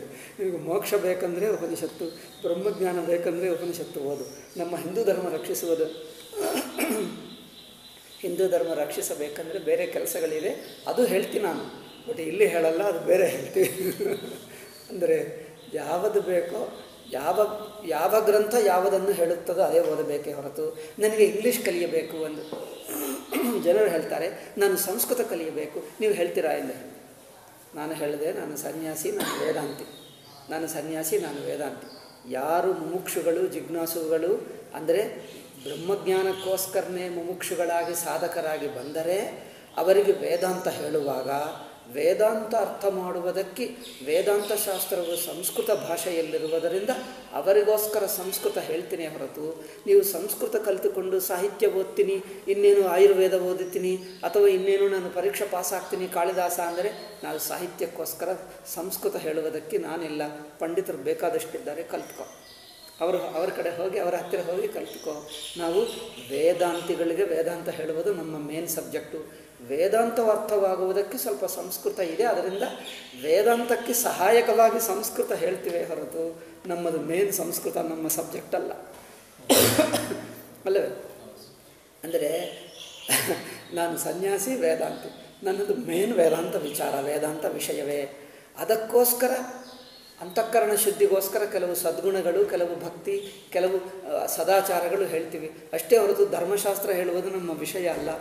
ಚರಿತ್ರ ಹೇಳುವುದು ನಮ್ಮ ವಿಷಯ ಅಲ್ಲ. ಸಂಸ್ಕೃತ ಭಾಷೆ ಹೇಳುವುದಲ್ಲ. ತರ್ಕಶಾಸ್ತ್ರ ಹೇಳುವುದು ನಮ್ಮ ವಿಷಯವಲ್ಲ. ತರ್ಕಶಾಸ್ತ್ರ ಸ್ವಲ್ಪ ಅಂಗಭೂತವಾಗಿ, ಇದಕ್ಕೆ ಸಹಾಯಕವಾಗಿ ಸ್ವಲ್ಪ ತಗೊಳ್ತೀವಿ. ನಿಮಗೆ ಮೇನ್ ವ್ಯಾಕರಣ ಸ್ಪೆಷಲೈಸೇಷನ್ ಬೇಕಂದರೆ ಪಂಡಿತರಿದ್ದಾರೆ. ತರ್ಕಶಾಸ್ತ್ರ ಸ್ಪೆಷಲೈಸೇಷನ್ ಇದ್ದಾರೆ. ಸಾಹಿತ್ಯ ಓದಿಕೊಳ್ಳಬೇಕಂದರೆ ಅವರಿದ್ದಾರೆ. ನಾವು ಸಾಹಿತ್ಯ ಓದೋದು ಏನು ಶಾಕುಂತಲ ಚೆನ್ನಾಗಿದೆ ಅಂದರೆ ಆ ಶಾಕುಂತಲ ಅದೆಲ್ಲ ನಮಗೆ ನಮಗೆ ಬ್ರಹ್ಮಾತ್ಮ ತತ್ವ ಬೇಕು. ಅದು ಅವರಿದ್ದಾರೆ, ಅಲ್ಲಿ ಹೋಗಿ ಕಲ್ತ್ಕೊ. ನಾವು ಹೇಳಲ್ಲ. ಅದಕ್ಕಾಗಿ ಯಾರು ಯಾವುದಕ್ಕೆ, ಯಾವುದು ಹೇಳುವುದಕ್ಕಿದ್ದಾರೆ ಉಪನಿಷತ್ತುಗಳಿಂದ ಸಂಸ್ಕೃತ ಬರುತ್ತದ ಅಂದರೆ ಸಂಸ್ಕೃತ ಕಲಿಯೋದಕ್ಕೆ ಉಪನಿಷತ್ತು ಓದ ಬೇಡ. ಸಂಸ್ಕೃತ ಬೇರೆ ಕಲಿತುಕೊಂಡು ಉಪನಿಷತ್ತಿಗೆ ಬಾ. ಉಪನಿಷತ್ತು ತತ್ವಕ್ಕೋಸ್ಕರನೇ ಉಪನಿಷತ್ತು ಕಲಿಯೋ. ಬೇರೆದು ಬೇಡ. ಇಲ್ಲದಿದ್ದರೆ ಉಪನಿಷತ್ತು ಹಾಳಾಗಿಬಿಡ್ತದೆ. ಉಪನಿಷತ್ತು ಹಾಳಾಗುವುದಂದರೆ ನಿಮ್ಮ ಬುದ್ಧಿ ಉಪನಿಷತ್ತಿನ ಕುರಿತು ತಪ್ಪು ಸಂಸ್ಕಾರ ಆಗಿಬಿಡ್ತದೆ. ನಂತರ ನಿಮಗೆ ನಿಜವಾಗಿ ವೇದಾಂತ ಬೇಕೆನ್ನುವಾಗ ಉಪನಿಷತ್ತು ಕೆಲಸ ಮಾಡಲ್ಲ ಹಾಳಾಗಿ ಬಿಡ್ತದೆ ಸಿ ಒಂದು ಮಂತ್ರ ಇರುತ್ತದೆ. ಮಂತ್ರೆಯನ್ನು ಒಂದು ಶ್ರದ್ಧಾಭಕ್ತಿಯಿಂದ ಬಳಸಬೇಕು. ಮಂತ್ರವನ್ನು ಲೌಕಿಕ ಹಾಡು ಹಾಗೆ, ಇನ್ನೊಬ್ಬರಿಗೆ ಬೈಯುವ ಹಾಗೆ ಬಳಸಿಬಿಟ್ಟರೆ ನಿಜವಾಗಿ ನಿಮಗೆ ಮಂತ್ರ ಬೇಕೆನ್ನುವಾಗಿದೆ ಹೇಳಿಬಿಟ್ರೆ ಎಲ್ಲ ನಿಮಗೆ ಅದರಲ್ಲಿ ಕತ್ತೆ, ಗದ್ದೆ ನಾಯಿ ಎಲ್ಲ ಕಂಡು ಬರ್ತದೆ. ಅದಾಗಬಾರದು. ಅದಕ್ಕಾಗಿ ಯಾವ ಉಪನಿಷತ್ತು ಮಂತ್ರ, ವೇದ ಮಂತ್ರವನ್ನು ಪವಿತ್ರ ಭಾವದಿಂದ, ಭಕ್ತಿ ಭಾವದಿಂದ ಹೇಳಿ, ಲೌಕಿಕಕ್ಕೆ ಬಳಸಬೇಡ. ಜನರೇನು ಮಾಡ್ತಾರೆ? ಗಾಯತ್ರಿ ಮಂತ್ರವನ್ನು ಕಾಲಿಂಗ್ ಬೆಲ್ಲಾಗಿ ಇಟ್ಕೊಳ್ತಾರೆ. ಏನಪ್ಪ, ಅದು ಏಕಾಂತದಲ್ಲಿ ಕುಳಿತುಕೊಂಡು ಶ್ರದ್ಧಾ ಭಕ್ತಿಯಿಂದ ಮಾಡತಕ್ಕದ್ದು. ಸುಮ್ಮನೆ ಎಂಟರ್ಟೈನ್ಮೆಂಟ್ಗೋಸ್ಕರ ಕಾಲಿಂಗ್ ಬೆಲ್ಲಾಗಿ ಇಡತಕ್ಕದ್ದು ಗಾಯತ್ರಿ ಮಂತ್ರವ ಏನಾದರೂ ಅರ್ಥ ಇದೆ? ಯಾರಾದರೂ ಅಲ್ಲಾಹ ಅಕ್ಬರಿದ್ದು ಕೈಲಿ ಕಾಲಿಂಗ್ ಬೆಲ್ಲಾಗಿ ಇಡ್ತಾರ? ಅವ್ನು ಹೊಡೆಯುತ್ತಾರೆ ನಿಮ್ಮನ್ನು. ಅ- ಅದು ಮಾತ್ರ ಮಾಡಲ್ಲ, ಇಲ್ಲಿ ಮಾತ್ರ ಕಾಲಿಂಗ್ ಬೆಲ್ಕಿ ಗಾಯತ್ರಿ ಮಂತ್ರ. ಇದು ಏನಪ್ಪ? ನೋಡಿದ್ದೀರಾ ನೀವು ಕಾಲಿಂಗ್ ಬೆಲ್ಕಿ ಗಾಯತ್ರಿ ಮಂತ್ರ? ಅದು ಏನರ್ಥ ಅದು ಒಂದು ಏಕಾಂತದಲ್ಲಿ ಸ್ನಾನ ಮಾಡಿ ಶುಚಿಯಾಗಿದ್ದು ಶ್ರದ್ಧಾ ಭಕ್ತಿಯಿಂದ ಹೇಳತಕ್ಕದ್ದು. ಸುಮ್ಮನೆ ಎಂಟರ್ಟೈನ್ಮೆಂಟ್ಗೋಸ್ಕರ ಮಾಡತಕ್ಕಂಥ ಲೌಕಿಕ ಪ್ರಯೋಜನಕ್ಕೋಸ್ಕರ ಬಳಸತಕ್ಕದ್ದು. ಹಾಗೆ ಬಳಸಿಬಿಟ್ಟರೆ ಏನಾಗುತ್ತದೆ? ಗಾಯತ್ರಿ ಮಂತ್ರವನ್ನು ಲೌಕಿಕ ಸಂದರ್ಭಗಳಲ್ಲಿ ನಿಮಗೆ ಲೌಕಿಕ ಸಂಸ್ಕಾರ ಗಾಯತ್ರಿ ಮಂತ್ರ ಜೊತೆಗೆ ಸೇರಿಕೊಂಡು ಬಿಡ್ತದೆ. ನಿಜವಾಗಿ ನೀವು ಒಂದು ದಿವಸ ಜಪ ಮಾಡುವಕ್ಕೆ ಹೊರಟಿದರೆ, ಮಂತ್ರ ಇಟ್ಕೊಂಡ್ರೆ ಲೌಕಿಕ ವಿಷಯಗಳು ಬರುತ್ತದೆ, ಪರಮಾತ್ಮ ಬರಲ್ಲ. ಹಾಗಾಗಬಾರದು ಅಂದರೆ ಲೌಕಿಕ ವಿಷಯಕ್ಕೆ ಬಳಸಬೇಡ. ಹಾಗೆ ಉಪನಿಷತ್ತು ಮಂತ್ರಗಳನ್ನು ಲೌಕಿಕಕ್ಕೆ ಬಳಸಬೇಡ. ಇದು ಕೇವಲ ತತ್ವಕ್ಕೋಸ್ಕರನೇ ಇದೆ. ಪ್ರಯೋಜನ. ಈಗ ಒಂದು ಸಂಬಂಧ ಇದೆ. ಈ ಸಂಬಂಧ ಅಧಿಕಾರಿ ಎರಡು ಇದೇ, ಟೈಮ್ ಆಯಿತು. ನಾಳೆ ಹೇಳೋಣ. ಸಂಬಂಧ ಅಧಿಕಾರಿ ಹೇಳುವಾಗ ಈ ಅಧಿಕಾರಿ ಕುರಿತು, ಅಧಿಕಾರಿಗೆ ಏನೇನು ಸದ್ಗುಣಗಳಿರಬೇಕು ಅಂದರೆ ಈಗ ಒಂದೆರಡು ಪೇಜ್ಗಳು, ಸಾಧಕನಿಗೆ ಬೇಕಾಗಿರುವ ವಿವೇಕ ಏನು, ವೈರಾಗ್ಯ ಏನು, ಶಮ, ದಮ, ಉಪರತಿ, ಶ್ರದ್ಧಾ, ತಿತಿಕ್ಷ, ಈ ಒಂದೊಂದು ಸಾಧನ ಚತುಷ್ಟಯ ಎಂದು ಹೇಳ್ತಾರೆ. ಆ ಗುಣಗಳನ್ನೆಲ್ಲ ಹೇಳ್ತಾನೆ. ಅದು ಸ್ವಲ್ಪ ಹೇಳೋಣ. ಅದು ಸ್ವಲ್ಪ ಎರಡು ಮೂರು ಪೇಜ್ಗಳಿವೆ. I think one two three ಪೇಜ್ಗಳು. ಇದು ಹೇಳಿದ ನಂತರ ಈಗ ಬೆ ಆತ್ಮತತ್ವೋಪದೇಶ ಶುರು ಮಾಡ್ತಾನೆ ಆಯ್ತು. ಓಂ ಶಾಂತಿ ಶಾಂತಿ ಶಾಂತಿ. ಹರಿ ಓಂ ಶ್ರೀ ಗುರುಭ್ಯೋ ನಮಃ. ಹರಿ ಓಂ.